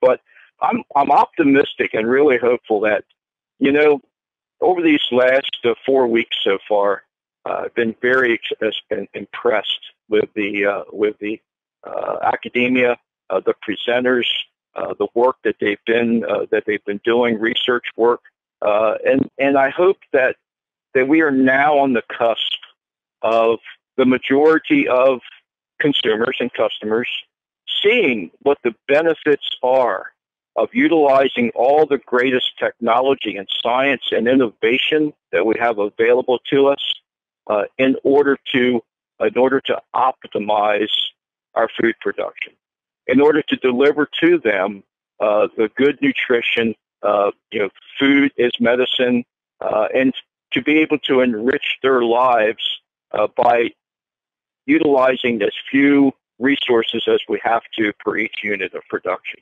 And that's what we've been really, really great at in the United States at doing.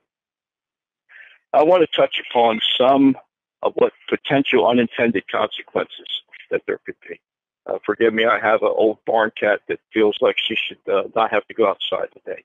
Uh, but, uh, you know, some of these uh, schemes uh, that are being talked about, potential uh, whether they're uh, government mandates, whether they're incentive based programs. Uh, some of my fears is that the the either the food manufacturing companies or the food marketing companies that they will be the ones to benefit the most from requiring uh, certification uh, or requiring uh, labeling on the products um, or maybe it would be the facilitators, the, the third party certifying agencies, that they'll extract so much out of this, this uh, uh, added value of sustainable farming practices uh, that the producer will be basically left in the same spot that they were before. Uh, will have additional mandates or additional requirements imposed upon them uh, without any uh, greater uh, per unit profitability.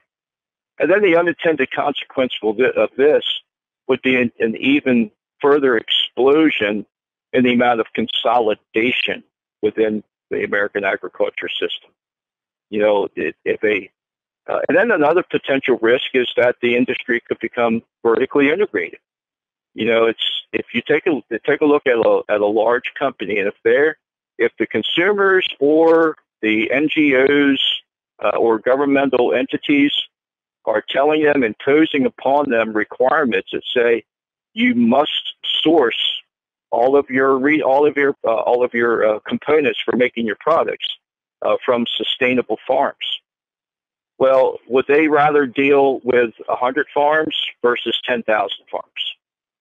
So if they they would they would offer those greatest advantages only to the largest farm operators. And that's what I mean by the unintended consequence and the risk is that we could be going down this uh, this pathway of even further consolidation and also the risk of vertical integration. Uh, I enjoy what I'm doing.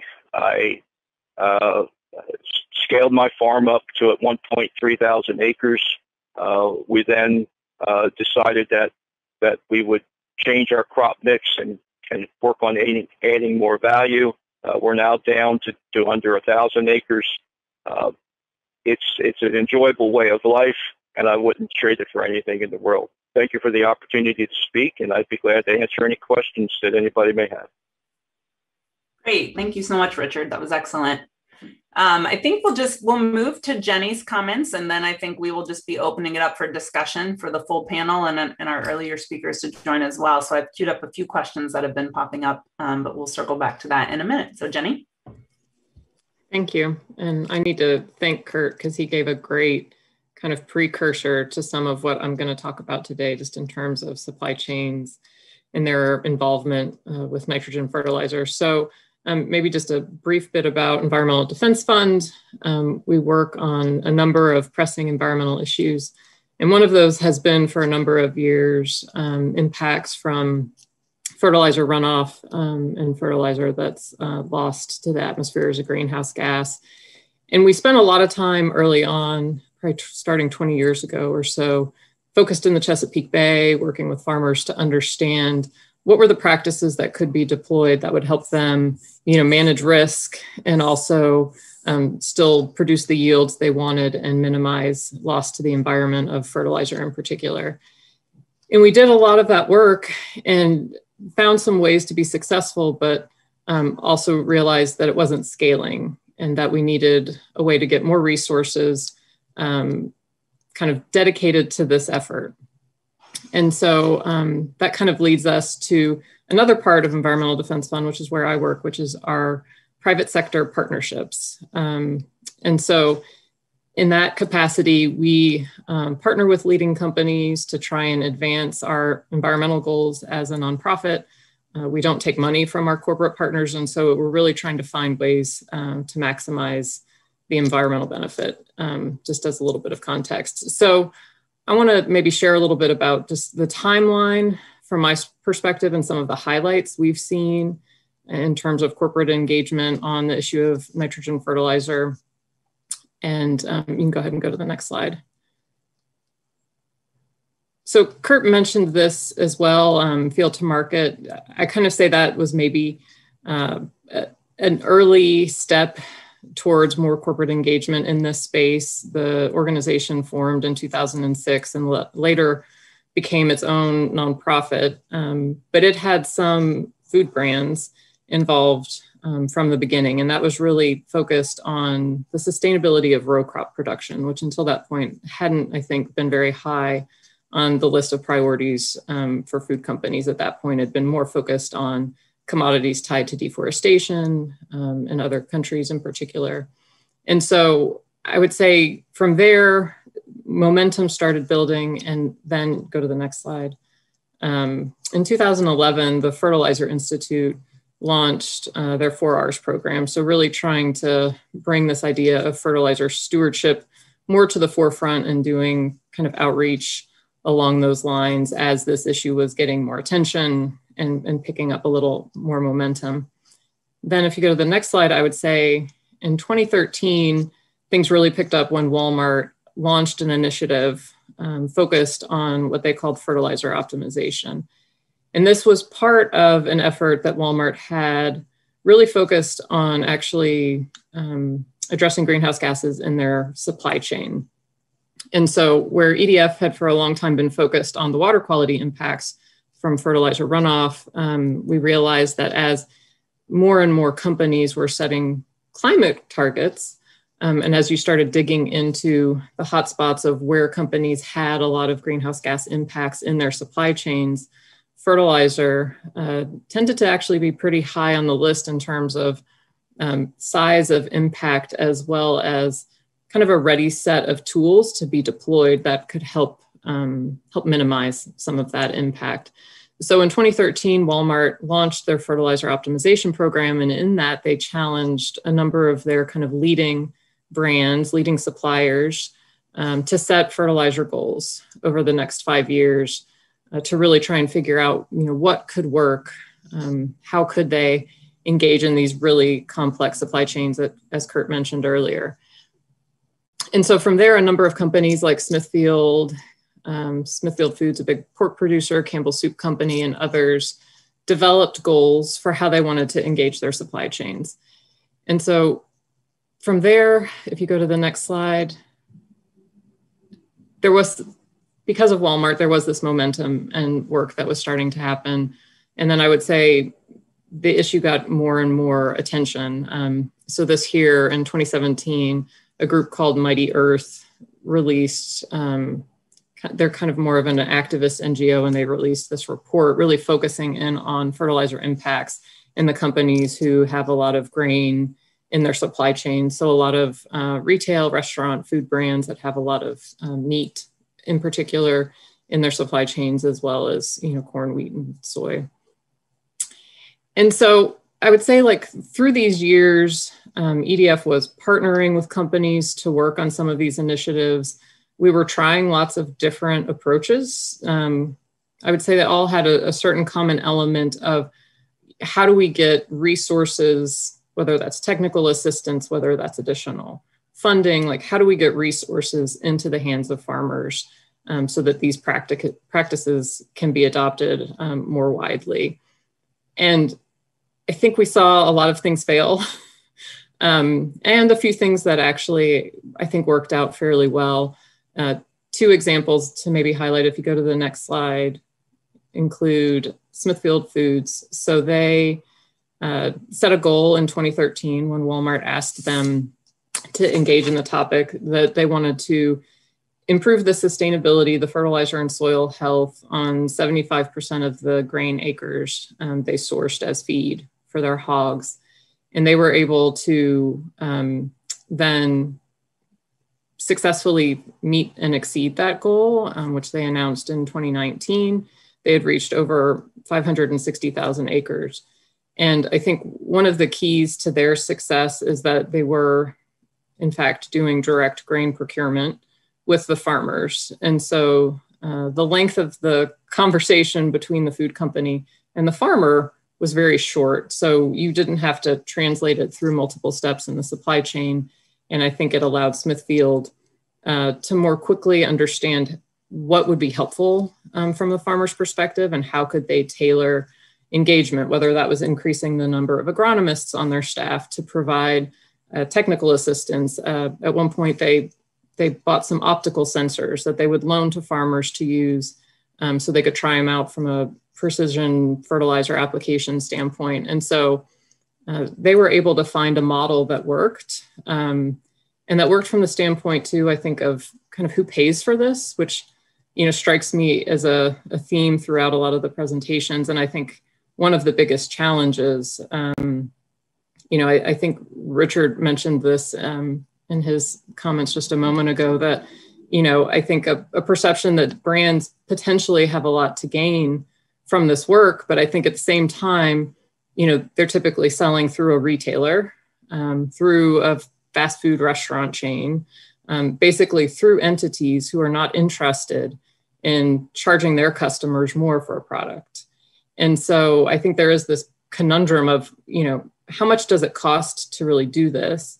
And who should pay for it? And how do you create a, a system that then can scale impact? Um, and so in this instance, I think Smithfield found a model that provided enough business value in terms of strengthening relationships with farmers, being able to source more grain locally, so cutting down on transportation costs, that they could basically find the business case without being able to charge a price premium for their end product. I would say a lot of other companies haven't been as fortunate to kind of find that sweet spot um, that allows them to fund the program long term and you know not need a retailer or a, a restaurant to kind of okay a price increase another example if you go to the next slide of maybe a, a success story is campbell soup company. So they were also part of that original cohort um, of 15 major suppliers that walmart asked to set goals. And their goal was actually around um, improving fertilizer use on wheat.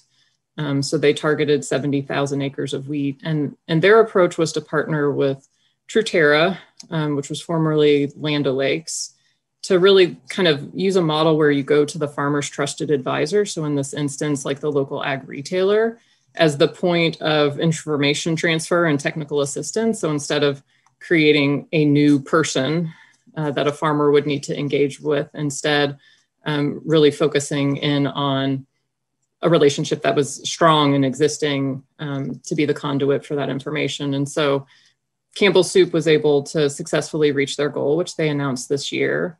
Um, and so I think there are some cases where this has worked. I don't think that any of it has scaled as quickly or as broadly as we wanted it to. Um, I think, again, because who pays for this is still um, a big challenge. And I think also to Kurt's earlier point, around certifications, um, they're valuable because they would presumably allow a brand like a Smithfield or a Campbell Soup Company to promote, you know, a, a, more premium product, but um, without like a, a high quality third party verified standard, most retailers or other retail outlets probably wouldn't permit that or encourage it or promote it because of a legal liability issue.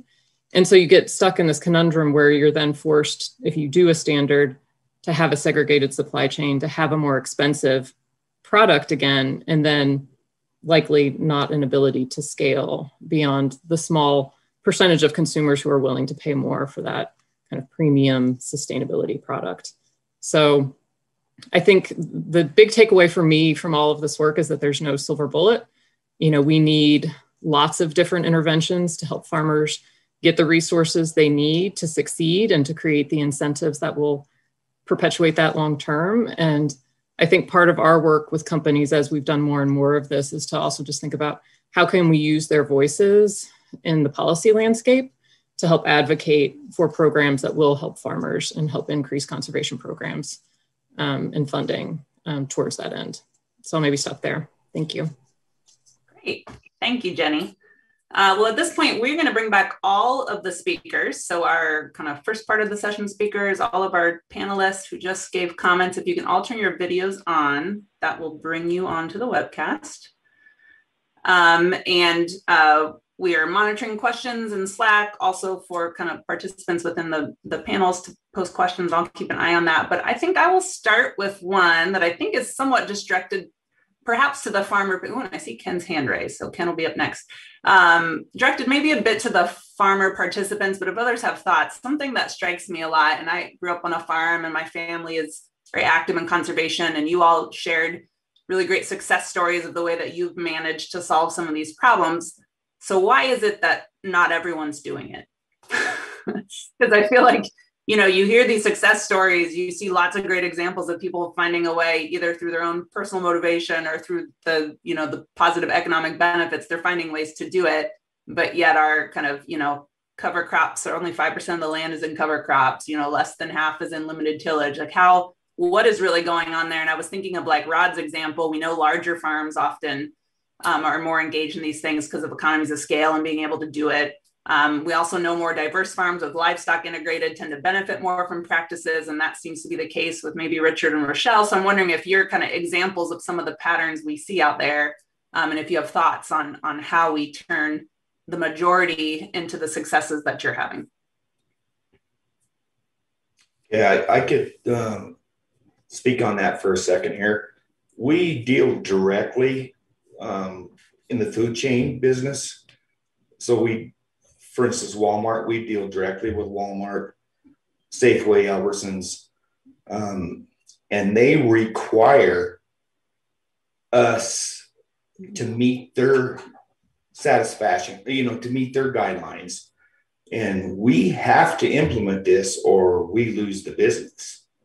So, um, does that answer your question from it does. I mean, you have a you have a strong economic motivation um, that this is part of the relationship have, but maybe because of your direct relationship with the um, with that part of the market. Yeah. But they still don't understand the extra inputs we have to go through to make up for that cost. So we're yeah. still working on on trying to figure that part of the you know the process out. So yeah, okay. Michelle or Richard? Uh, yes. Yeah, so from from our perspective, um, our customers for you know soybeans more than corn because most of our corn uh, we, we live in a in a in an area that is corn negative so all most all the corn goes for livestock feed or ethanol production.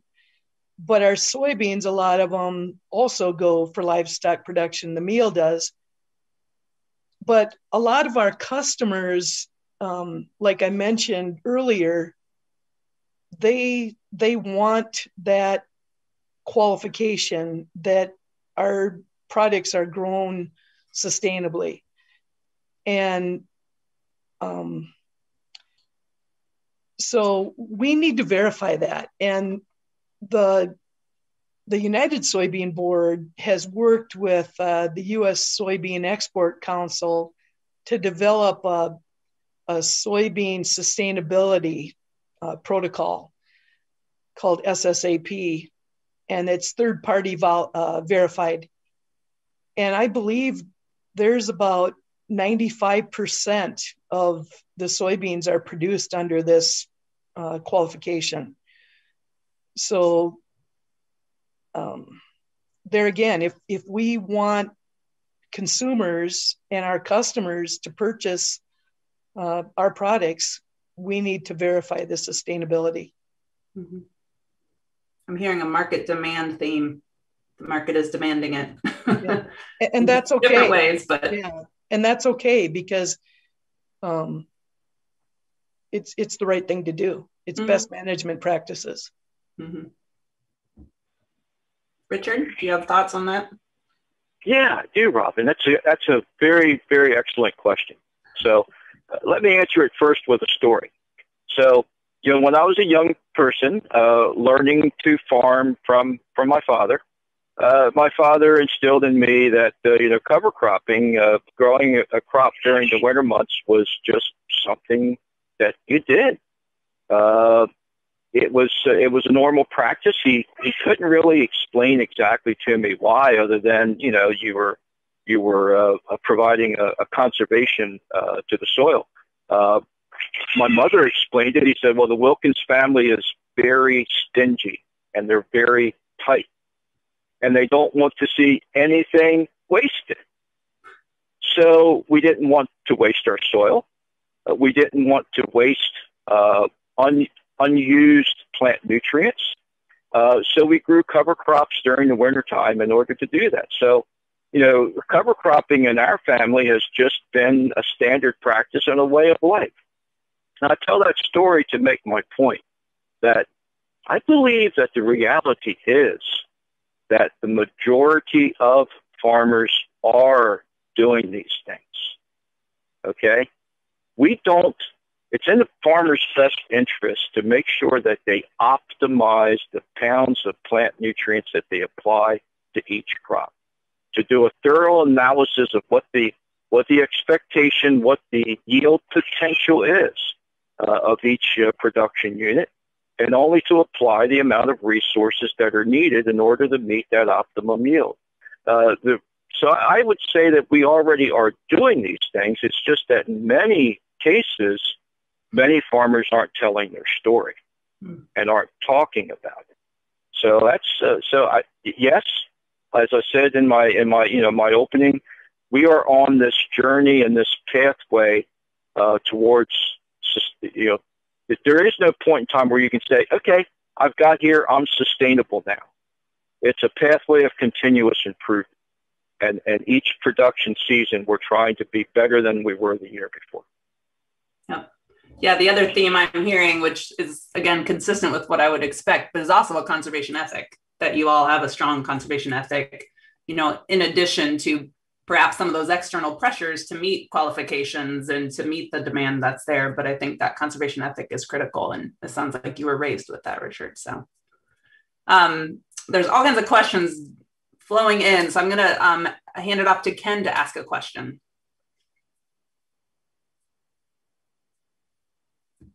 Oh, you're on mute, Ken. We see you, but. How's that? That's How's perfect.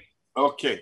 So I have a quick comment and a question. The and the comment, and it's to the three uh, first speakers. Um, the effectiveness of policies and markets that address the N problem in agriculture ultimately depend on the ability to identify N loss reduction options for which we have robust estimates about how much they reduce N losses.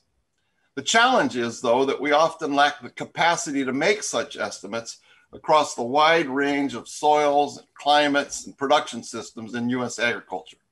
So my question to the speakers, uh, uh, Leif, Kurt, and Kurt, what steps are taken by companies and government programs to ensure that the management practices being promoted actually deliver the benefits that they are receiving subsidies or environmental service payments for? Thank you.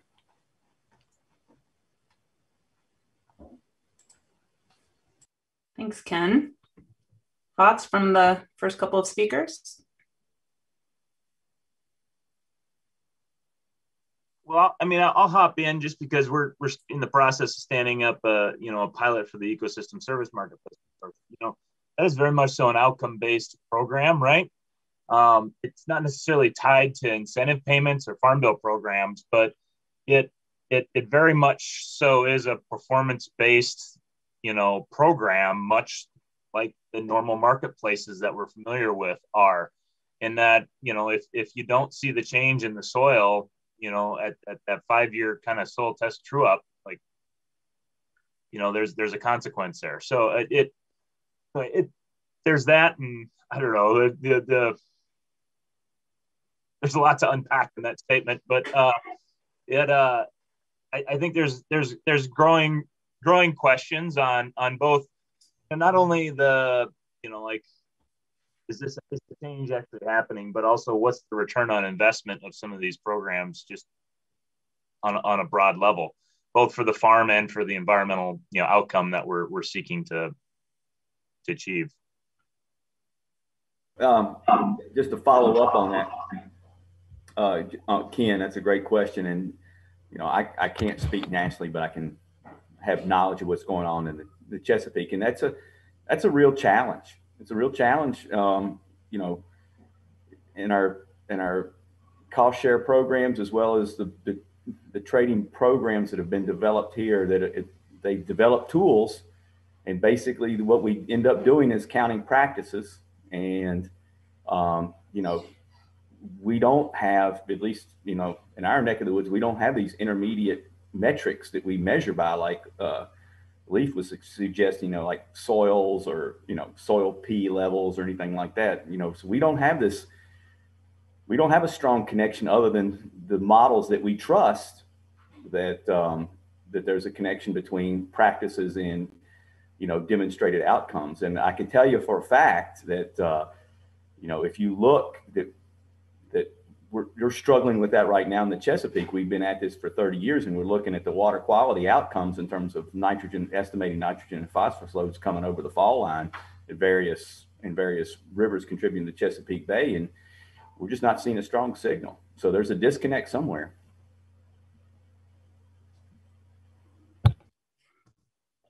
Any other follow-up thoughts on that? I had a kind of a, I guess, a question playing off of that that I'll raise that's just related to this question. It just struck me, and maybe it was in Leah's comments originally about, you know, paying for practices versus predicted or modeled outcomes, like you're talking about, Kurt, or or actual outcomes. But I mean, how in the world would you ever hold people accountable to actual outcomes at the scale that would be necessary? So I know, like with the TNC project, it seems that's an example where you are measuring actual outcomes, but that seems like a gigantic undertaking. And if, and if I remember right, we've maybe tried that in the past before too, and it's nearly impossible to pull off. So I'm just curious if people in the farmer panel too, I'm very curious if you have thoughts about, um, yeah, because I think we have a lot of question marks about why these programs aren't working. And is it that we have bad expectations about what the potential effects of some of these interventions are, or is it because something else going on in the natural system that's hiding that signal? Um, so I'm just curious what, what thoughts people have. So I, I like the idea of shifting towards measuring actual outcomes and paying for that, but thoughts about how we would actually do that. I mean, I mean, I think that, you know, there's, I think the situation depends on the type of agriculture and the type of situation you're talking about. But I think that, you know, there are, as suggests, there are intermediate indicators that you could use in terms of, you know, for instance, phosphorus P levels, soil P levels, and um, you know, and they people have tried various other types of mechanisms. So, um, uh, you know, I mean, there was a, there was a pilot program in West Virginia that that that that rewarded a group of landowners who could move the needle in nitrate levels at the at the outlet of a watershed. Um, so, um, you know, and it wasn't it wasn't punitive or anything like that. It's like it was a performance payment. So, you know, it's, it's, and oh, and the other thing is, you know, and if you're dealing with large scale systems, like if you have vertically integrated systems, you know, you, where you have large stores of nitrogen in manure and, you know, you're treating those, those large movements of nutrients are, and particularly if you like a waste to energy project are, are, are, are directly measurable and easy to track. So in some instances that is, it depends on the type of agriculture and type of system you're looking at. Mm-hmm. So I think it's creative. I don't think there's a one size fits all type of a. I know that's cliche, but I don't. But but I think you have to sort of look at the circumstances and try to figure out, well, you know, where can we insert some indicators there to, to measure outcomes. Well, and I, I also don't think we're going to get that, you know, like, you know, we're just in the process of launching a, a big kind of edge of field strategy, you know, push in that, like, we're not going to get we're not going to meet our water quality outcomes by looking at infield practices alone, right? And and especially kind of in the face of of of of, of our changing climate, in that you know that doesn't matter if you're doing soil health or, or reduced tillage or whatever. Like if we get three inches of rain in an hour, there's going to be sediment and nutrients leaving that field, and so we need that second line of defense kind of set up and, and in place to help mitigate that impact. And, and, and so it, anyway, that's part of it too. And, and part of that ties into what scale you, you're talking about your outcome, you know, like hinted at it, or like what scale are we thinking about outcomes at? So, um, anyway, I'll just leave it there. So, so I'd like to, I'd like to bring up two points. Um, one, I think the, the matrix that we use to um, analyze or measure organic matter or whatever nutrients are in the soil is is pretty diverse. And we have seen um, samples that you know when you when you take a soil sample uh, and we've we've participated in in EQIP and in um, other um, conservation practices, you know, through NRCS and, and local soil water and everything, CSP programs and stuff. But when you're when you're taking a soil sample, I've seen a, a pretty big difference in for instance, the measurement of organic matter. You can take a vial and it'll give you one measurement. And then if you take a root hair and, and take it out of that same sample, that sample might change six tenths of a percent. So if you're getting paid um, to increase your organic matter by, say, 0.3%, where are you going to get that sample from? And so that's one of my concerns and a, and a point that I wanted to make. And the other one is that I think it was alluded to uh, before is that part of the nitrogen problem, I think, is in the you know, several years ago, um, animal agriculture was encouraged to apply liquid nutrients according to the N value. And what we've found is that that's over application. And so what we do is we apply our liquid nutrients from our hog barns from the pits according to the P value. And then we spoon feed the nitrogen as the plant needs it.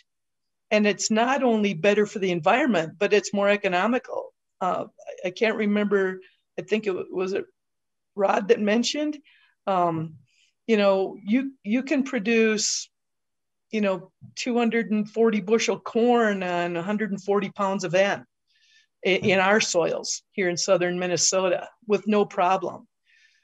Um, I'll tell you that we we rented some ground uh, on a two-year lease and produced corn on it last year, and all we did was apply nitrogen, no other nutrients and had hardly any rain uh, after the 4th of July and still produced 190 bushel corn on that ground. And it is not premium southern Minnesota soil on those two farms. So we're, we're doing uh, a lot of conservation practices. I, I think the majority, I think Richard said it too. Um, farmers use agronomic consultants and soil samples because part of it is economics. It's not only, like I said earlier, uh, it's an innate characteristic in farmers that we just want to care for our soil because you know um, that if you take care of the soil, it's going to take care of all of us, not just produce better crops, but it's it's better for for everybody. And so, uh, I'm not saying that we're all doing everything right, and it's definitely continuous improvement. And I really appreciate the technology in the 41 years that I've been a farmer. I of of anything, I appreciate the technology so that we can use science um, to make better decisions. Mm-hmm. Thanks, Rochelle. Um, Leah, I saw you were going to reply. Yes, I thank you. I have a follow-up comment that's going to generate a question for the farmers on the call. So first of all, I think this is a fantastic discussion because it really highlights a serious challenge with our pay for performance programs in that it is very difficult to measure these outcomes. And I think this links back to the question Kathy posed to me earlier about the scale at which we are trying to motivate management changes. It's really difficult for me to envision that we are going to be able to accurately track outcomes if we're only impacting a relatively small proportion of the landscape right? If only a relatively small proportion of the manager land managers are making a practice change uh, we may not be able to detect the outcome um, unless we really invest in some high cost sensors or something like that. But with our current technologies we probably won't be able to measure it and so then if we plan to hold people accountable for outcomes, I think we'll end up with a situation where people will be very risk averse and worried that they will take costly actions and they will not be credited for doing so because an outcome may not be able to be measured. So the way that I think this links to Kathy's comment is that leads us to a question of whether we can have uh, farmers coming together in collaborative ways to impact a larger area of a watershed. And so my question to the farmers on the call is, it, do you see opportunities there of creating programs for more collaboration? Or does that you know kind of ruffle your feathers and make you say oh my gosh there's a lot of work that that's going to take and i don't know how much i want to work with all the neighbors around me to, to make this happen? What, what is your reaction to that idea of group programs and mechanisms? Thank you they're thinking about it no I, for for us um, being one of the largest shipper growers of onions we have to work with our neighbors because we can't produce enough and still have a 40 year rotation on our 4,000 acres to make it work. So they are learning with us. Um, there is no, well, I, I, shouldn't say there is none, but um, I have not heard of any class or uh, what do I want to call it?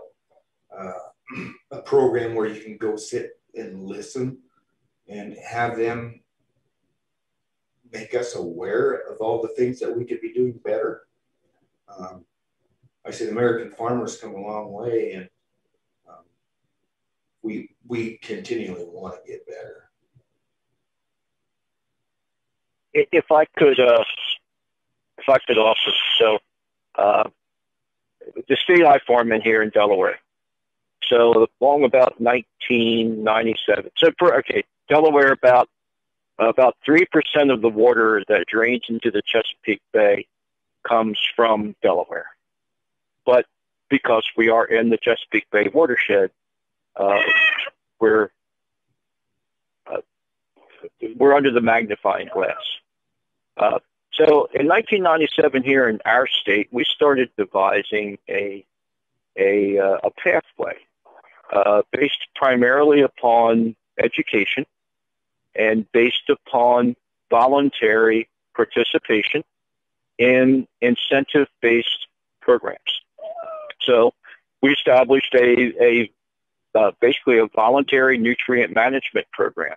Uh, whereby uh, you know it did require that you receive a, minimum number of hours of, of classroom education uh, in order to become uh, certified and then uh, and then you had to receive continuing education credits in order to keep your certification. But there was no stick. The governor at that time, Tom Carper, our governor at that time, who's now, in, I believe he's now the chairman of the Senate uh, Environment and Public Works Committee. Uh, but he, he said, uh, let's do it the Delaware way. Uh, let's create a program based upon voluntary compliance, based upon education, uh, based upon providing financial incentives in order to to uh, to adopt good behavior, positive reinforcement rather than rather than the, the, the negative stick. And it worked. It worked. Uh, we had I can remember a situation where a, a poultry farmer in my community uh, had the flock of chickens had gone out uh, the poultry manure was removed from the production facilities, uh, but was he didn't have a manure shed, so it was outside on the pads of the chicken house. And then he had a heart attack, and he had no family members to help. Well, the community got together and went and, and moved that poultry manure uh, and got it uh, got it uh, protected uh, either undercover or applied on some productive fields because we didn't want the social we didn't want the, the social kickback uh, of a farm being seen uh, with manure staged outside of the production area. So you know, that was that was collaboration.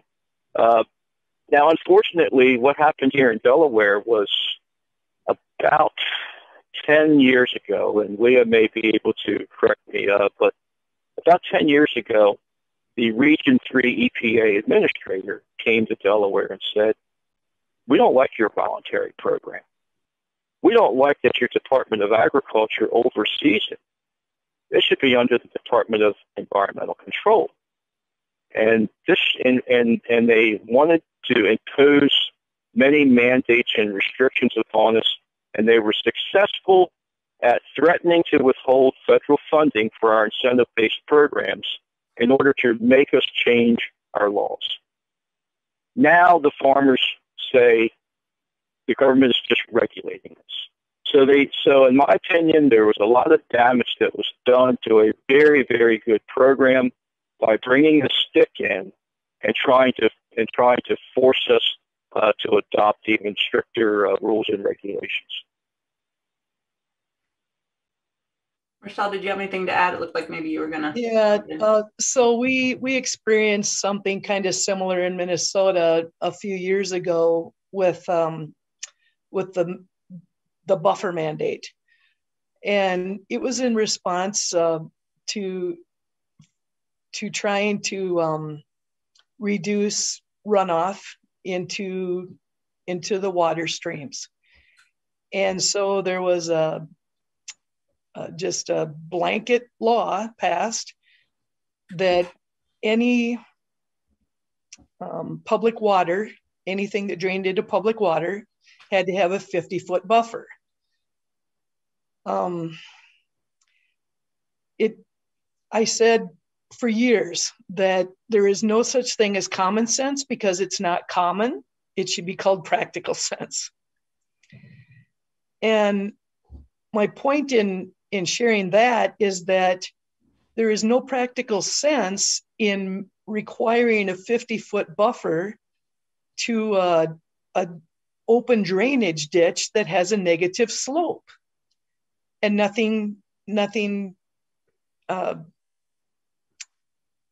nothing slopes into it right so um, i would i would agree with richard that uh, incentives to collaborate and develop partnerships uh, across this. And quite frankly, that is why I agreed to participate in this workshop because I think any partnerships and relationships that we can develop are going to have a better solution to concerns and issues than any stick. Well, I personally love the idea of 20 to 30 farmers within a small scale, like HUC 12 watershed, getting together, figuring out a collective solution and being able to measure that impact at that scale. And I think we've talked about doing that here in Ohio as a way of addressing, you know, water quality issues locally. So um, it's good to get your get your thoughts on that. Um, David has had his hand raised for a while, so I'm going to um, call on David to answer his question, ask his question. Thank you. Can you can you hear me and see me? Yes, we can. Hi, hi everyone. Thank you so much for a great a great session today. Um, I, two things that I wanted to get the particularly the the, the first few speakers to to respond to. One, you know, the, and this is building on Ken Cassman's comment about the difficulty of of actually monitoring practice adoption and and and outcomes. And I was just wondering, uh, uh, keen to hear their thoughts on other bottlenecks in the broader agri-food system that might be easier to monitor. So, for example, we had a paper out a couple years ago um, putting forward uh, a case for um, imposing design standards or performance standards on fertilizer products, and their fertilizer manufacturers would be the ones that would be um, uh, monitored for that. Uh, it's similar in the ways that the CAFE standards for cars have been done. Instead of monitoring the driving habits of 120 million drivers, you monitor the production uh, uh, or you, you, you uh, enforce production um, standards on a smaller number of companies. And there are several other examples of that. So that was just one thing, and just thinking kind of beyond the farm in some way, beyond this more traditional policymaking relationship of either government to farm or these other private sector initiatives if there are more innovative ways and and second to that you know and this is the way a lot of policy in this area often is is, is drafted but it's often within the existing system and by that i mean you know probably some of the more transformative change that is going to happen are going to be from from changes that have nothing to do with incremental changes in nitrogen use efficiency. Uh, you know, it will be to do with the fact once consumers realize that an Impossible Whopper tastes the same as a normal Burger King Whopper, right? Um, or it'll be once uh, these startups that are promoting um, nitrogen fixing corn actually take root and and work. For just to give a couple of examples. And so, in that context, policy uh, plays a different role, right? In terms of either reducing regulatory barriers or making sure that they, you know, meet certain standards. So I was just interested in hearing the, the, the, the, panel's thoughts on those two things. One on kind of looking at other parts in the agri-food system that might be easier to, to, to implement policy on and what the role of policy is in these areas of more transformative change. Thank you. Thank you, David. Looks like Leah's gonna jump in. Well, I, I do have a, a, comment to your first question. Um, I know that in the past five years, there's been some really innovative work done trying to work directly with ag retailers. And Robyn can speak to this probably more than me because I believe you've been involved with some of this work, Robyn. Uh, but specifically, I know in the Western Lake Erie Basin, trying to work through these ag retailers who influence a larger portion of the landscape, right? So if the point that we're making is that we need to scale up, and figure out you know what levers would help us do that then maybe working with those individuals who then go out and work with farmers um, is a is a good approach and so I, I, can't speak to a lot of the results because I haven't been directly involved with those projects, but I've really uh, been very interested in that, and I think it's a, a neat uh, approach. And we have seen, um, well, Carrie Vollmer Sanders shared, I think, a slide was it just in the workshop this last week and showed that we are seeing some positive effect of working with the certified retailers. Still trying to kind of tease out what that that effect is at the end of the day but um, but we also see a um, high level of loyalty among farmers to their current nutrient service providers so they're not necessarily going to switch to a certified one um, but if they're working with a certified one then certainly we're seeing some i think some positive impact on like the field level um, management well, I, I think just oh yeah, go ahead, Kurt. I was just going to say, like on that note, you know, it. We have a board member who's a, a, a hog farmer in southern Minnesota, and and and she'll you know she talks about her agronomy team. I, you know, just making sure that like the conservation staff at an SWCD or NRCS is kind of integrated into that you know agronomic team is is is so important, right? Like so many of these practices, they're just straight up not going to work if if you're if if that side of the operation isn't on board with it. So it, it anyway, I'll just leave it with that. It, it's, just, it's just such an important part of this that that the entire system get integrated, and that yeah. it's not viewed as a there's the agronomy the the agronomy side of things, and then there's the conservation side of it. It needs to be. Yeah. Well, I just wanted to. I I didn't have anything to add other than to say second what David said because I thought it was spot on. Um, and you know, some of that, you know, and, and, I just add to that, you know, you think about well, you know, what happens if the the entire, you know, fleet of cars goes to electric in 30 years, and then you and all of a sudden ethanol demand dries up. I mean, there's just you think about those types of things. Um, but I do think that's I do think that's a very productive way to think about the problem. And that's why it was one of the things I was thinking about in terms of intervention in a in an integrated type of a system, like you talk about poultry, where you have a vertical integration through the whole system, and you know changing the liability rules so you can manage you know that that whole waste stream differently, because you're you're you're, taking the management of waste out of from the individual growers and putting it into into the vertically integrated system and making the integrators responsible for the waste. You know, things like that would, you know, I, I think that that sort of fits into the spirit of what you're talking about. And, um, you know, on the urban side, for instance, it doesn't relate to nitrogen, but, you know, in the, you know, they're talking about, you know, for phosphorus, phosphorus bans and, and urban fertilizers, for instance. That would be another sort of a system type of change that you're talking about, David. Um, um, further up or further back, depending on, you know, further up in the causal chain or further back in the causal chains where there's these big, you know, system changes that you can make or or societal changes that are pressing. I think it's just an it's, it's an excellent point that we shouldn't lose sight of. Can I just jump in about yes. supply chain standards and MSIs? I mean, they, you know, in terms of, of vertical integration, there's, you know, they really are working across the supply chain. They tend not to work with the ag retailers, as far as I know, and there really is separate data collection going on there. And if you, you know, if you sort of bring these data collection efforts together, I know the the um, some of the calculators actually allow you to like import some data you may have entered in like Syngenta's tool or something like that. Um, but you know, once once we sort of get everyone together, I think I think the, uh, the you know the data can be exchanged a little bit easier there. Excellent. Uh, any other thoughts on that before we move to a next question? Well, I was just going to add that um, we've been doing that in one of our pilot projects um, that we have with Tyson Foods, where our science team has been doing a lot of work on using nitrogen balance as a metric, you know, to both kind of understand how much fertilizer, both manure and synthetics being added to a field, and then looking at how much crop and residues being removed, using that as the proxy for how much is then vulnerable to loss.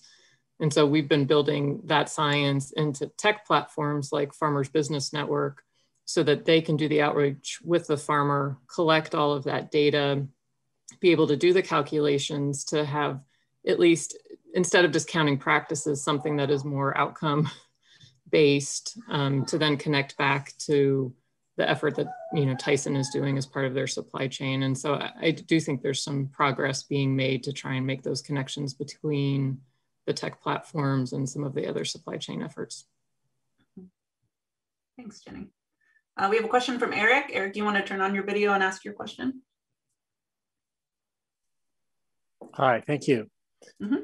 uh, so interestingly, I, this morning I, I, I, listened to a, a, seminar put on by um, The Economist magazine, and they had experts talking about the carbon um, issue of carbon sequestration in agriculture. And they were struggling with many of the same issues here about uh, verification. And it, I can't help but think that maybe this is, there's a cultural issue that we have here that we that we're so worried about um, I don't know whether it's worried about cheaters or whether we're worried about um, being able to prove that in each and every case that we apply a policy or an incentive, that it's going to have an impact on that particular farm.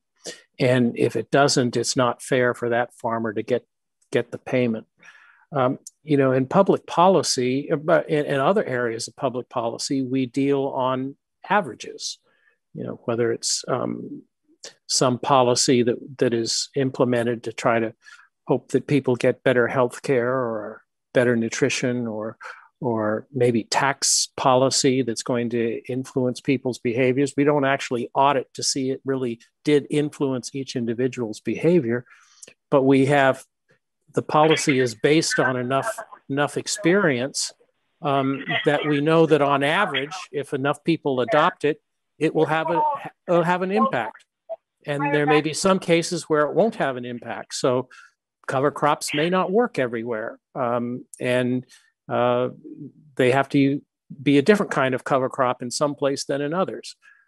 But in general, um, if we have enough research and enough confidence that applying a certain best practice, best management practice, is on average likely to yield a result, whether it be better carbon sequestration or less erosion or better nitrogen management.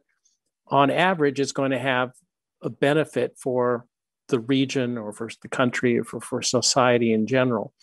Um, so, why do we have to put so much emphasis on validation of the policy impact at the individual farm level?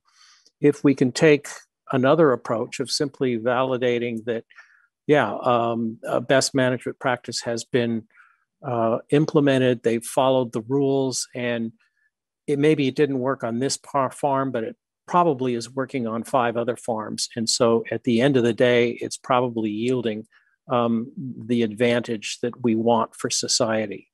Um, can, can we not um, make our job a little easier by going to um, verifiable things rather than trying to actual me- measure the change in carbon content in the soil or the change in nitrogen content or the change in nitrogen leaching or the change in nitrous oxide emissions which are you know totally impractical to try to measure on on very many farms let alone a, a lot of farms. So i'd be interested in hearing um, a response of anyone um, uh, from either of the panels who'd like to respond It's a great question. Robyn, I'll, I'll, I'll, Leah, you want to go first? No, go ahead, Richard. Okay. Well, thank you. You just remute. There you go. Okay, go ahead. There you go. We can hear you now. So, so Rochelle had mentioned something in her opening presentation called the United States Soybean Sustainability Assurance Protocol. And uh, I, at first, uh, you know, Eric, that's a, a, an excellent question. You know, why can't we be more concerned about the aggregate? And as long as we are are moving the bubble, as long as we are becoming better in the aggregate, why is that not enough? Well, the United States Soybean Sustainability Assurance Protocol is kind of based on that. It's based on the fact that 97% of the soybean acres in the United States are grown on acres with a USDA conservation plan. That means that that land has to be in compliance with uh, with all federal government conservation compliance standards in order to be able to qualify for uh, EQIP, in order to be able to qualify for Title I Farm Bill support programs, in order to be able to qualify in many areas for crop insurance, so in the aggregate, those soybeans are being produced in a sustainable manner. So uh, yeah, I, and and as some of the points that I made in my opening presentation about the unintended consequences of adding in all of this extra expense of third-party certifying agencies, the extra expense of laboratory fees in order to prove something. Uh, yeah, I think that if if we concentrate more so on uh, incentive based uh, positive reinforcement programs to help cost share. Farmers, we want to do the right thing. We're willing to invest our own money into longer term conservation practices as long as we are, are able to get some cost share assistance to help implement those long term practices. And, and so, yeah, I, I totally agree. Let's concentrate on providing continuous improvement in the aggregate rather than being specifically looking at each and every individual farm. I, I? Think I think another um, to add to Richard's points is that the incentives or the cost share need to be managed at a more regional or local level instead of a federal level because um, to Eric's point in question or comments is that um, practices are, are very different by region or or by soil types or what watershed even you're in. And so uh, one of the concerns of the agriculture, the production agricultural organizations is that uh, we don't try to make blanket policies that are tried to make all of us fit in to a cookie cutter, right? Um, any more than I don't want to be told what color car I need to drive, right? So um, I think that's something to keep in mind. Yeah. Leah? Yes, I, I just wanted to say, I mean, one of the reasons though that I feel it is important to go beyond averages um, is because we do currently rely primarily on voluntary programs, and these are costly programs, and we have limited budgets. So, if we're not being careful with how this money is being spent and where it is being um, who it is being given to for which practices and which locations of the landscape, then we're going to continue to not move the needle. I mean, that is the problem that we're in right now and where I think we would stay. So I appreciate um, the comment a lot, and I agree um, that it is very costly to tar- to try to measure at every field um, a, a, number of different metrics. So, I, I, you know, I don't want to be naive and, and say that that's what I'm proposing. I'm not proposing every field, mm-hmm. um, but I do think that we need to be um, careful about thinking about local characteristics, the goals, just as um, Rochelle just mentioned, and maybe that will also help us with this targeting. I, yeah, yeah, absolutely. Yeah, if we had all the money in the world, then I think the, the averages would be fine, but we don't. And I think to Rochelle's point, and this was in some Aaliyah slides, but we know that the lack of flexibility in a lot of federal programs is one of the big turnoffs for people. And so if we could create more of those localized opportunities, and, and those do exist, not at the scale that the federal programs do. And so that's what's tricky about that. Um, I think we have maybe time for one more question. Um, and this was from Tom Burke. I'll just ask it unless Tom wants to jump in and ask it. Um, but he was wondering, um, given this is the Environmental Health Matters initiative, um, he's a little puzzled by the absence of public health in the discussion of incentives and rewards. So, is it time to shift the discussion from rewards for good practices to accountability for bad practices? So, I don't know, Tom, if you want to add anything else to that, but I think it flows with what we've been talking about and comments made by speakers about, well, the problem might be driven by a minority. Several of our farmer panelists have said a lot of us are doing the right thing. So when do we drill down and start to say, here's where the problems are, and let's really fix the problems where they need to be fixed? Yeah, thanks, Robyn, and thanks to the, the to all of you for presenting today. What great panels! But uh, since our mission is the environment and health link, and and uh, and I know it's implicit in what all of you do, uh, particularly for uh, food safety and crop safety, and uh, that health is is is on the radar screen. But I was wondering, as as a as an incentive uh, and as a as a reward, as, as you you think about balancing those things, whether um, the public health impacts of of sustainability come into the equation, or how how can we in the in the public health community be supportive of your efforts be, because they, they do have profound effects on health.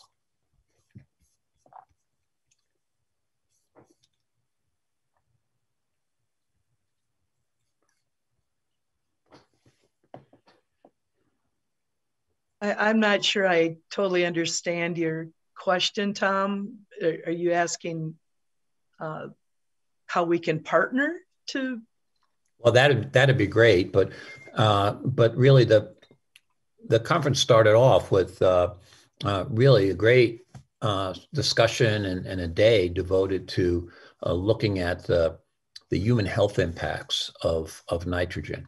And, uh, and one, of, one of the things that um, probably apparent from the, the subsequent discussions is that um, although there's localized issues with contaminated groundwater and things like that, that the down, downstream effects, particularly the, the, effects that uh, might be public health impacts um, are, are, don't seem to be in the equation when it when, when we look at balancing uh, or balancing the benefits uh, versus costs or or looking at incentives for sustainability. And and I'm I'm just wanting to get your take on that do you do you think about the downstream health effects or um, is is there a way for us to uh, to be part of that discussion in the in the public health community because obviously lots of, of local health officers and lots of communities have been impacted um, by nitrate contamination in, in, in, their water supplies. Can I offer uh, some some some answer here? Very very wonderful concept. So here again, here in my home state of Delaware, uh, we are we are we're we're on the cusp uh, to create a uh, basically a water quality trust fund uh, that would be uh, seeded with uh, with part of our you know Delaware State revenue stream. And uh, as I see it, the challenge that we're going to have is that again, there's going to be competing interests and competing stakeholders for what still is going to be limited resources. Know, no matter how much money you throw at something, there still is a limit to how much you can you have available to spend. And what I mean by that is that within uh, within this uh, uh, Clean Water Trust Fund board, there's the potential that those stakeholders that believe the solution is more uh, public water systems, public water supply systems. So they're going to want the mon- money, uh, funding to install more uh, public water distribution systems, so that more citizens will have will have cleaner water. There's going to be the tourism aspect. And what they're going to want is they're going to be wanting to, to compete for those dollars to be able to uh, make the the bodies of water where the tourists come to play in uh, to be uh, fishable, swimmable, drinkable. Uh, and then in the agriculture sector, say our state roughly is around you know 45 feet above sea level.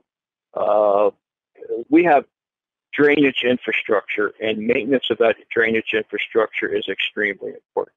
And there's lots of things that we can do in that drainage infrastructure to keep the water quality good. You know, putting in uh, uh, basically nitrogen capturing basins, uh, putting in phosphorus traps uh, in those uh, in those uh, drainage systems.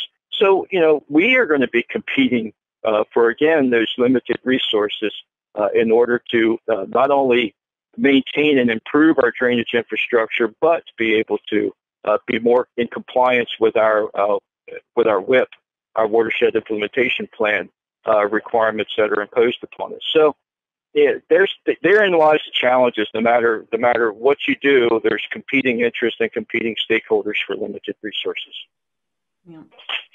I'm afraid I have to give Richard the last word because we are out of time. So thank you everyone for the thoughtful discussion and engagement. And I'm going to hand it uh, back to Kathy to wrap things up. Thank you, everybody. That was uh, a, a, remarkably uh, engaging discussion. So, uh, so appreciative of the farmers and all the um, academics who joined today to share their ideas and help us think about um, what next steps might be. So with that, I'm going to sign off, but I'm going to remind you all that we do have one more session next week. Um, and we will be um, trying to wrap things up. We will hope very much that there will be lots of input from um, people. We'll be focusing um, on health impacts of nitrogen, as well as solution pathways. And we're going to draw heavily from the things we've heard about in the workshop, as well as we'll welcome uh, more ideas and brainstorming from the eh, all of you who hopefully will come next week. So thank you very much. Stay uh, healthy. And if you're in a cold part of the country, stay warm. See you in a week.